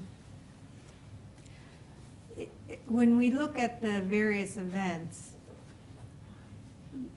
the main one that stands out is the street fair. I mean, the zo- zombie walk is actually not inexpensive. Um, But the main one that stands out is the street fair. And um, so Karen and Alex have given us information, well, I mean, people have said how important the street fair is. To me, this isn't about whether the street fair is important or not. It's, does the village just automatically fund eighteen thousand dollars to the chamber for the street fair? And if we are funding the chamber, is that how we want to do it? Um, And I don't know how it happened that, I don't know if it was just sort of incremental. I mean, the street fair used to be one event, and it's grown, and then it was two events, and I don't know what kind of uh, negotiation there was between the, the village and, and um, the chamber. To me, and, and I did, I mean, I don't have all of the information, but I did look at the um, income, how you spend the money, where it comes from. To me, I'm wondering, like, can't you, and, and I, I would think there could probably be some middle ground, but can't you like raise the fees for street fair? Well, I think- this is, I- You know, you asked if we had. Yeah, well, I, I just wanted to focus it a little bit, so, um, do you have some other things as well, or? That, that is the main thing. I guess I feel, I don't just, I'm not comfortable just automatically donating eighteen thousand dollars to the chamber without some, like, we're doing this because of this, and this is how it happened, and Okay. Well, I think, yeah, Karen, please. Um, I mean, I guess when I look at a piece of paper that says that um, the tourism economy, the destination economy at Ye- of Yellow Springs brings $16 million into the economy of Yellow Springs, and, and the, uh, the basis of these, of these numbers, I can, I think is pretty well explained. I, I can't wrap my head around why we're talking about $18,000. You know, I know that there have been um, incentives, we talk about incentives, we talk about incentives for economic development, we talk about incentives for housing, for affordable housing, and the, and the, um, the financial impact of those projects doesn't come close to the financial, to the annual financial impact of the destination economy of Yellow Springs. And that, I call it that, I don't like to just call it, it's not just about tourists, it's about our own people, it's about events, it's about supporting organizations like Arts Council, it's about supporting the PTO, it's about supporting the Glen, Glen Helen, WYSO, significant nonprofits, Little Art Theater. Um, it, it, it's, it's this package of amenities, of attractions that make Yellow Springs what it is. And I, I cannot tell you in, in, you know, I was, I was on MVRPC for 12 years. I have had significant interactions with people all over the region. And they all know Street Fair. They all know events in Yellow Springs, and they're all incredibly envious. And more and more communities are, doing events. Um, Troy invests over $50,000 in their annual Strawberry Festival. Um, uh, Fairborn is doing more and more events. They're starting to support um, uh, their Halloween and Zombie Walk um, festival that they have. They do, a- they do a, a car show. I mean, it, it's, communities are actually doing more of this than less of it because it is so important to the, um, to the vibe and to what the community has to offer. The citizens appreciate it. Um, It creates a community that people want to live in and that people want to visit and that people want to open businesses in and that people want to, um, want to invest in. You know, I mean, if you want to get into the details of how we got to where we are, I mean, we, you know, the chamber is, is, is spending seventy-two thousand dollars a year on street fair, on things like, um, the stage that we use for, um, the music fest, on the, on the sound people, on the musicians, most, most of which are local, on the, um, uh, on the, on the shuttle system that we, that we do to make things easier, to, to keep traffic out of town, on more dumpsters, on people to remove the trash, on, what else, Alex? Porta-johns. I mean, every year we have more porta-johns at street fair. So, so the, so the, so the chamber, every year, we increase the amount of money we spend on street fair because we're working with Chief, we're working with Johnny to make it as easy as possible. I'm going tomorrow to pick up a bunch of signs to keep people from coming into Yellow Springs. You know, so, so it's really a great collaborative, um, you know, and I know, I mean, it really is about street fair. I mean, there, I don't know that there's another event other than Zombie Walk that comes even close. So we really, I guess, really need to be talking about street fair. I think what also bothers me are the, the banner, the charging for the banners. Um, I think that that's, um, that's going to impact a lot of people. Um, because there doesn't seem to be discretion on that. That seems to be a charge. I don't know if it is just two hundred dollars, but anyway.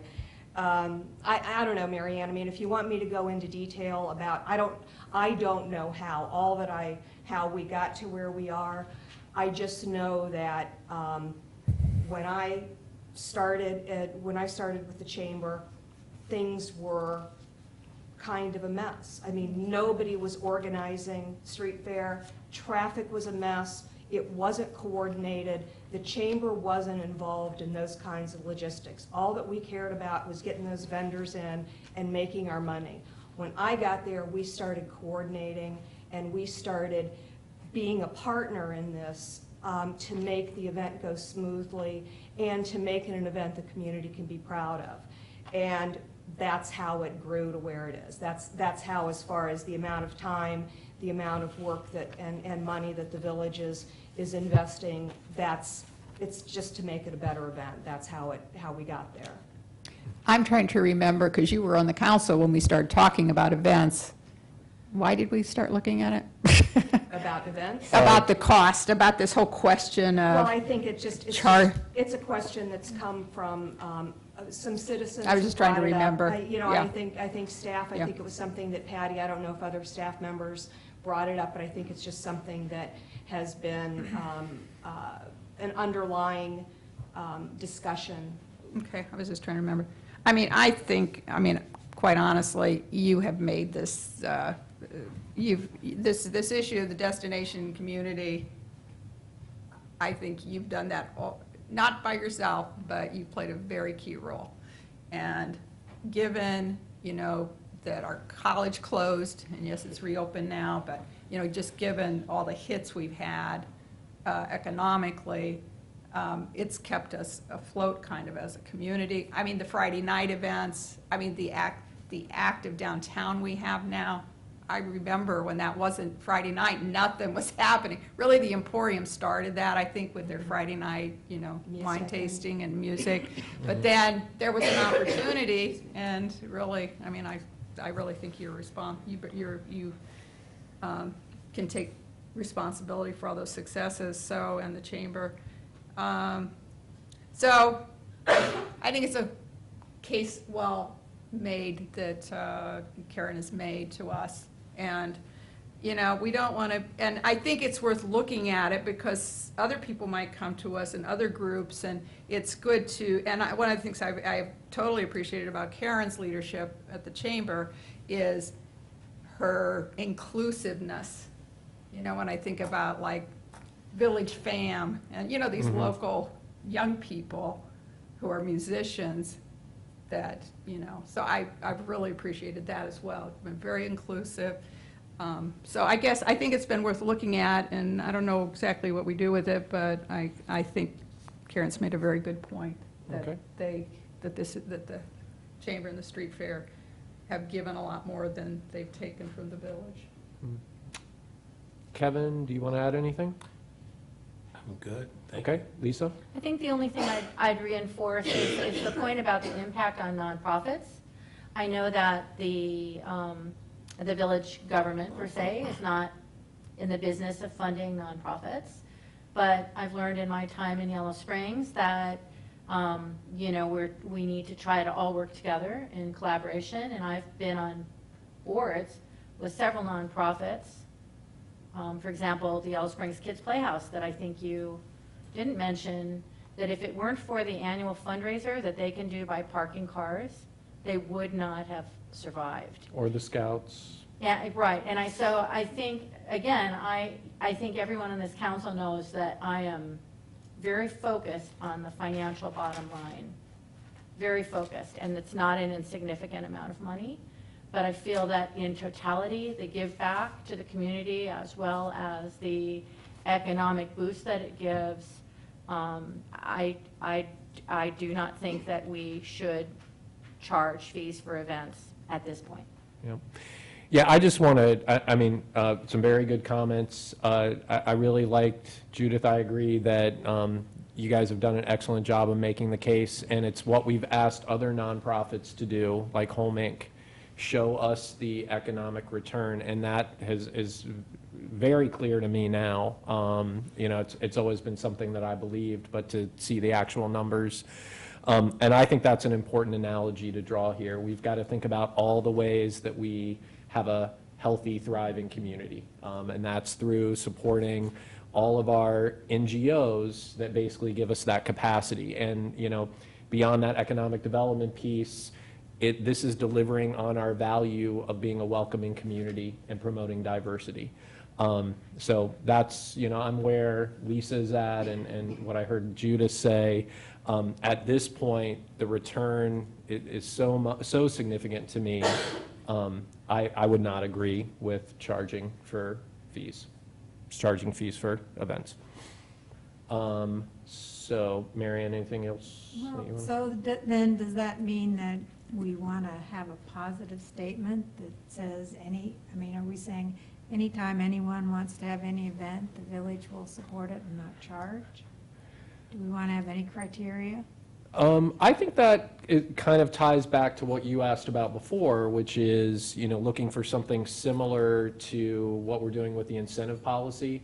Again, I agree with Lisa that they're two different things, but justifying the benefit to our citizens and to our community is, I think, what's important. So I, I think that is something to look at, um, moving forward. So, yeah, that sounds good to me. And, and I just want to say, Karen, you know, I, I have sort of, I have been leading this because I have not been comfortable just assuming that we would support the street fair and not charge.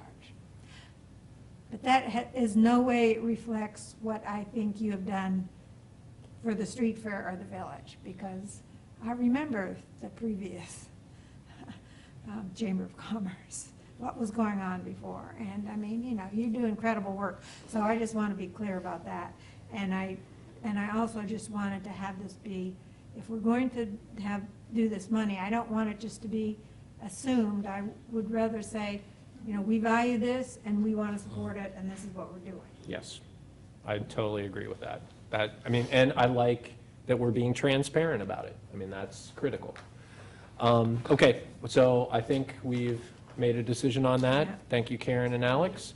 So Um, do, wait a second, clarifying question. Do we want to look at the current incentive policy to see if it will do the work that we're looking for here? I don't, I Or don't does it have to be that formalized? I don't think we're there yet. I, I think we've got other priorities. Okay. I, I think we just want to, you know, put a, a bookmark in it that this is something we want to continue to think about. If we were, it seems like maybe the Arts and Culture Commission Mhm. might be a locus for that, because most of the events fall under that.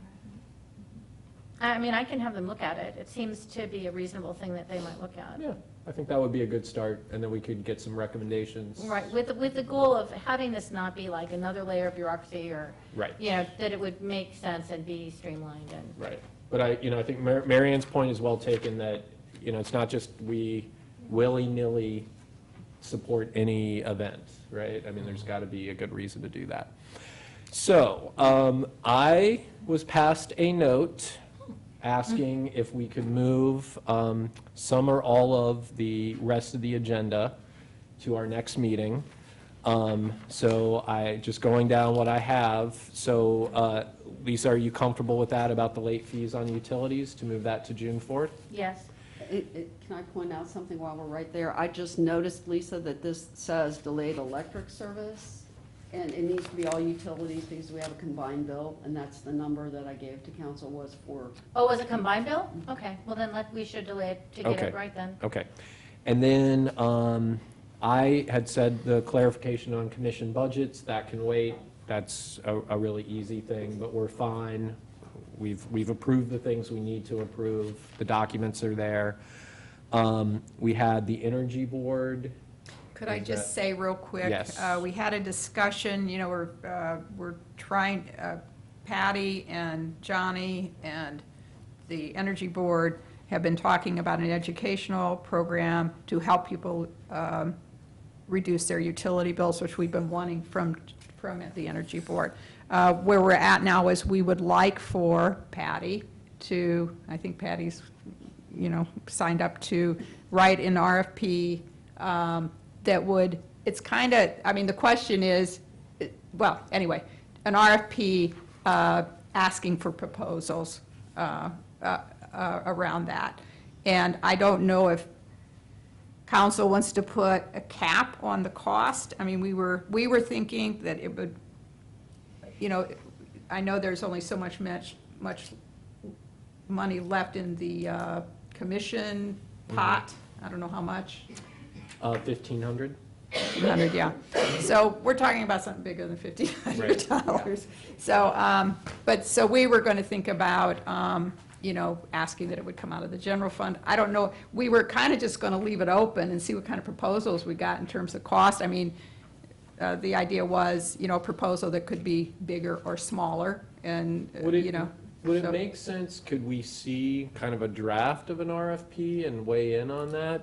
Sure. And at our I mean, next it's meeting? okay with me. Because Patty's I, happy. I have some thoughts about how we incentivize this. I'd, I'd like to, and I guess I'd like to talk a little bit about um, who's doing this work, you know, I, I mean, so, but, it- but if we could put some ideas together, that'd be great. I, I will commit to writing the RFP. I will not commit to having it by the next meeting, and I say that because I am absolutely swamped and just about at my max capacity right now. Um, I will do my best to get it done for the next one, because Okay. I've kind of already started on it. And when does the Energy Board meet again? Uh, The The third third Tuesday. Tuesday, yeah, the third Tuesday. So you'll have another council meeting before. But they don't, so have we already passed that? No. Their For this meeting? month, Yeah, yes. okay. Yes, yes, yeah. Because I was going to say, it'd be nice if they could help Patty with that a Right. little bit. Well, Well, she's asked for input. Okay. Yeah, and, and we have to, And we- we have to firm up some deliverables as well, Yes. because there, there are not any real firm deliverables back to me. yet. Okay. Um, And then, uh, public record requests, are you comfortable with talking about that at the next Yes. meeting? Yeah. Okay. But we do need to, I think, probably try to set our date for the work session, which will not take five minutes. Is that, do we want to try What to do work session? Um, On infrastructure, Uh, capital uh, uh, uh, uh, okay.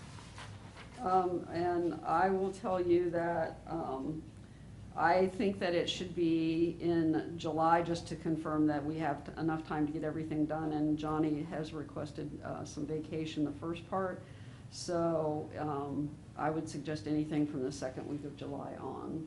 So can we send you dates and we Can could figure it out that way? Yes. Okay, so second half of July.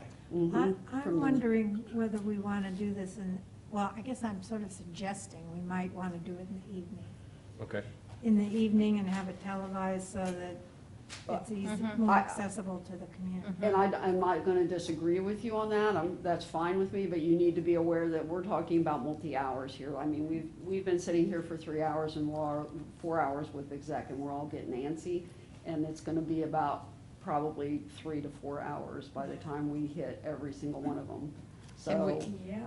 you know, it just depends on, Yes. it depends on how much information you ask in addition. Right, okay. So. Well, we'll work on that. Um, okay, so then, uh, we have various reports. I'm not sure if anyone has any questions, uh, or things that they, um, want to to- highlight for the Um, people that wrote those reports. The chief is not here. Chris and Patty, do you want to highlight anything? Council, do you have any questions you'd like to ask? I, I do need to note um, publicly about the generator. That was my thing. Um, The backup generator at the Xenia Avenue lift station did die on us, as, as council is aware. And um, to replace that, it's a, it's an EPA requirement that we have that backup generator. Um, So it's, it was an emergency replacement that exceeded my uh, spending limit, but there is a provision in the charter, or, I'm sorry, the administrative code that allows me to exceed my spending limit in emergencies that affect the safety, health, and welfare of these citizens. So. And- and I- utilities. And utilities. And so I did authorize that purchase, um, and actually, I think the generator's getting delivered later this week. Um, and then we can quit paying for the backup gener, the rental backup generator that we're paying for. And So- Patty also did reach out to me about it, so. And um, so I am required to tell you openly at the next public meeting, and I have just done that. Uh, Is there anything that anyone wants to highlight with their board and commission reports? I would. Yes, Very Lisa. quickly, regarding economic sustainability, given that the designated Community Improvement Corporation is a topic of great interest for the council and perhaps the community, um, I just want to point out that the, um, D- uh, that the Economic Sustainability Commission is moving forward, um, drafting a position paper and a purpose statement. In my report, it has a sort of an outline of what's included in that and uh, we're beginning preliminary work on bylaws. So I just want to be certain that council knows that we are trudging forward with that, and if Great. there's any concerns with that outline or what we're doing. I'm sorry, Lisa, a purpose paper and what? Um, It's in my report, Economic Sustainability. Uh, A Lisa, purpose paper and a preliminary work on bylaws. uh, Lisa, do you have a, uh, any model bylaws? that We do have a, a model of bylaws, and one of the things we've talked about, um, and I haven't gotten with you on this, is that we acknowledge that the position paper and purpose statement is the most important precursor document for this body to consider. And we know that once we get to the bylaws, uh, not to use this term in any uh, negative manner, but it's a lot of legalese. So that next step will be figuring out what our budget is for legal advice and getting your input and all that. Well, the creation of the bylaws tend to be kind of pro forma. Right. Based upon the makeup that you want. So you're, you're correct in your initial statement. So I guess my point is, is that let me know if you're looking for templates or other things, and I can help streamline that process for you. That'd be great. Thank you. Okay, anything else? I I have uh, two things. One, I wanted to just let council know that at planning commission, and I did note this, yeah, um, that the issue of flag lots came up. And flag lots are lots where there's essentially an- a driveway that goes back to a lot that's back behind another lot.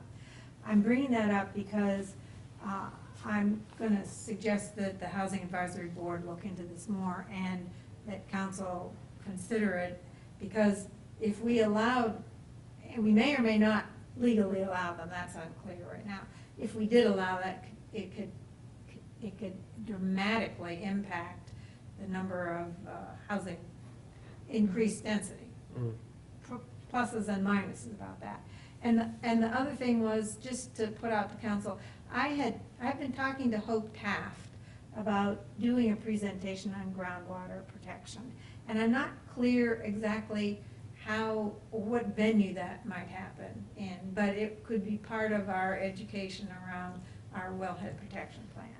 She is, I know, I think there's an interview with the paper that's coming out, and she's presenting with Tums- Tecumseh Land Trust, but I'm not exactly clear what would be the best venue, so if people have ideas about that. Okay. Anything else? Um, okay, uh, we've got a good list of future agenda items. Is there anything that, uh, has not come up at this meeting that, uh, anyone wants to highlight? Um, exit audit interview. Oh, Mhm. So that needs, exit audit and interview, I sent an email. Yeah, do you want to just, Um, we received our audit, uh, draft final audit from the, um, Julian and Grube, um, who is contracted to do our audit.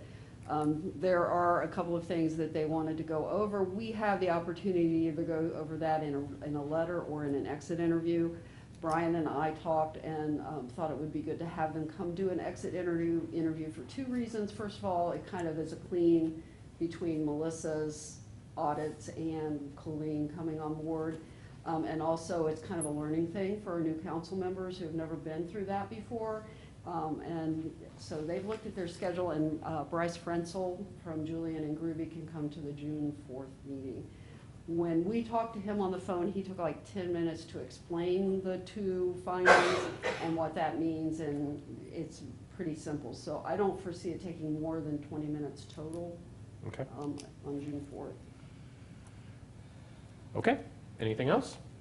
Um, all right, and, uh, we are not going to go back into executive session, so I will entertain a motion to adjourn. I move. I second. All those in favor signify by saying aye. Aye. Aye. Okay. Thank you.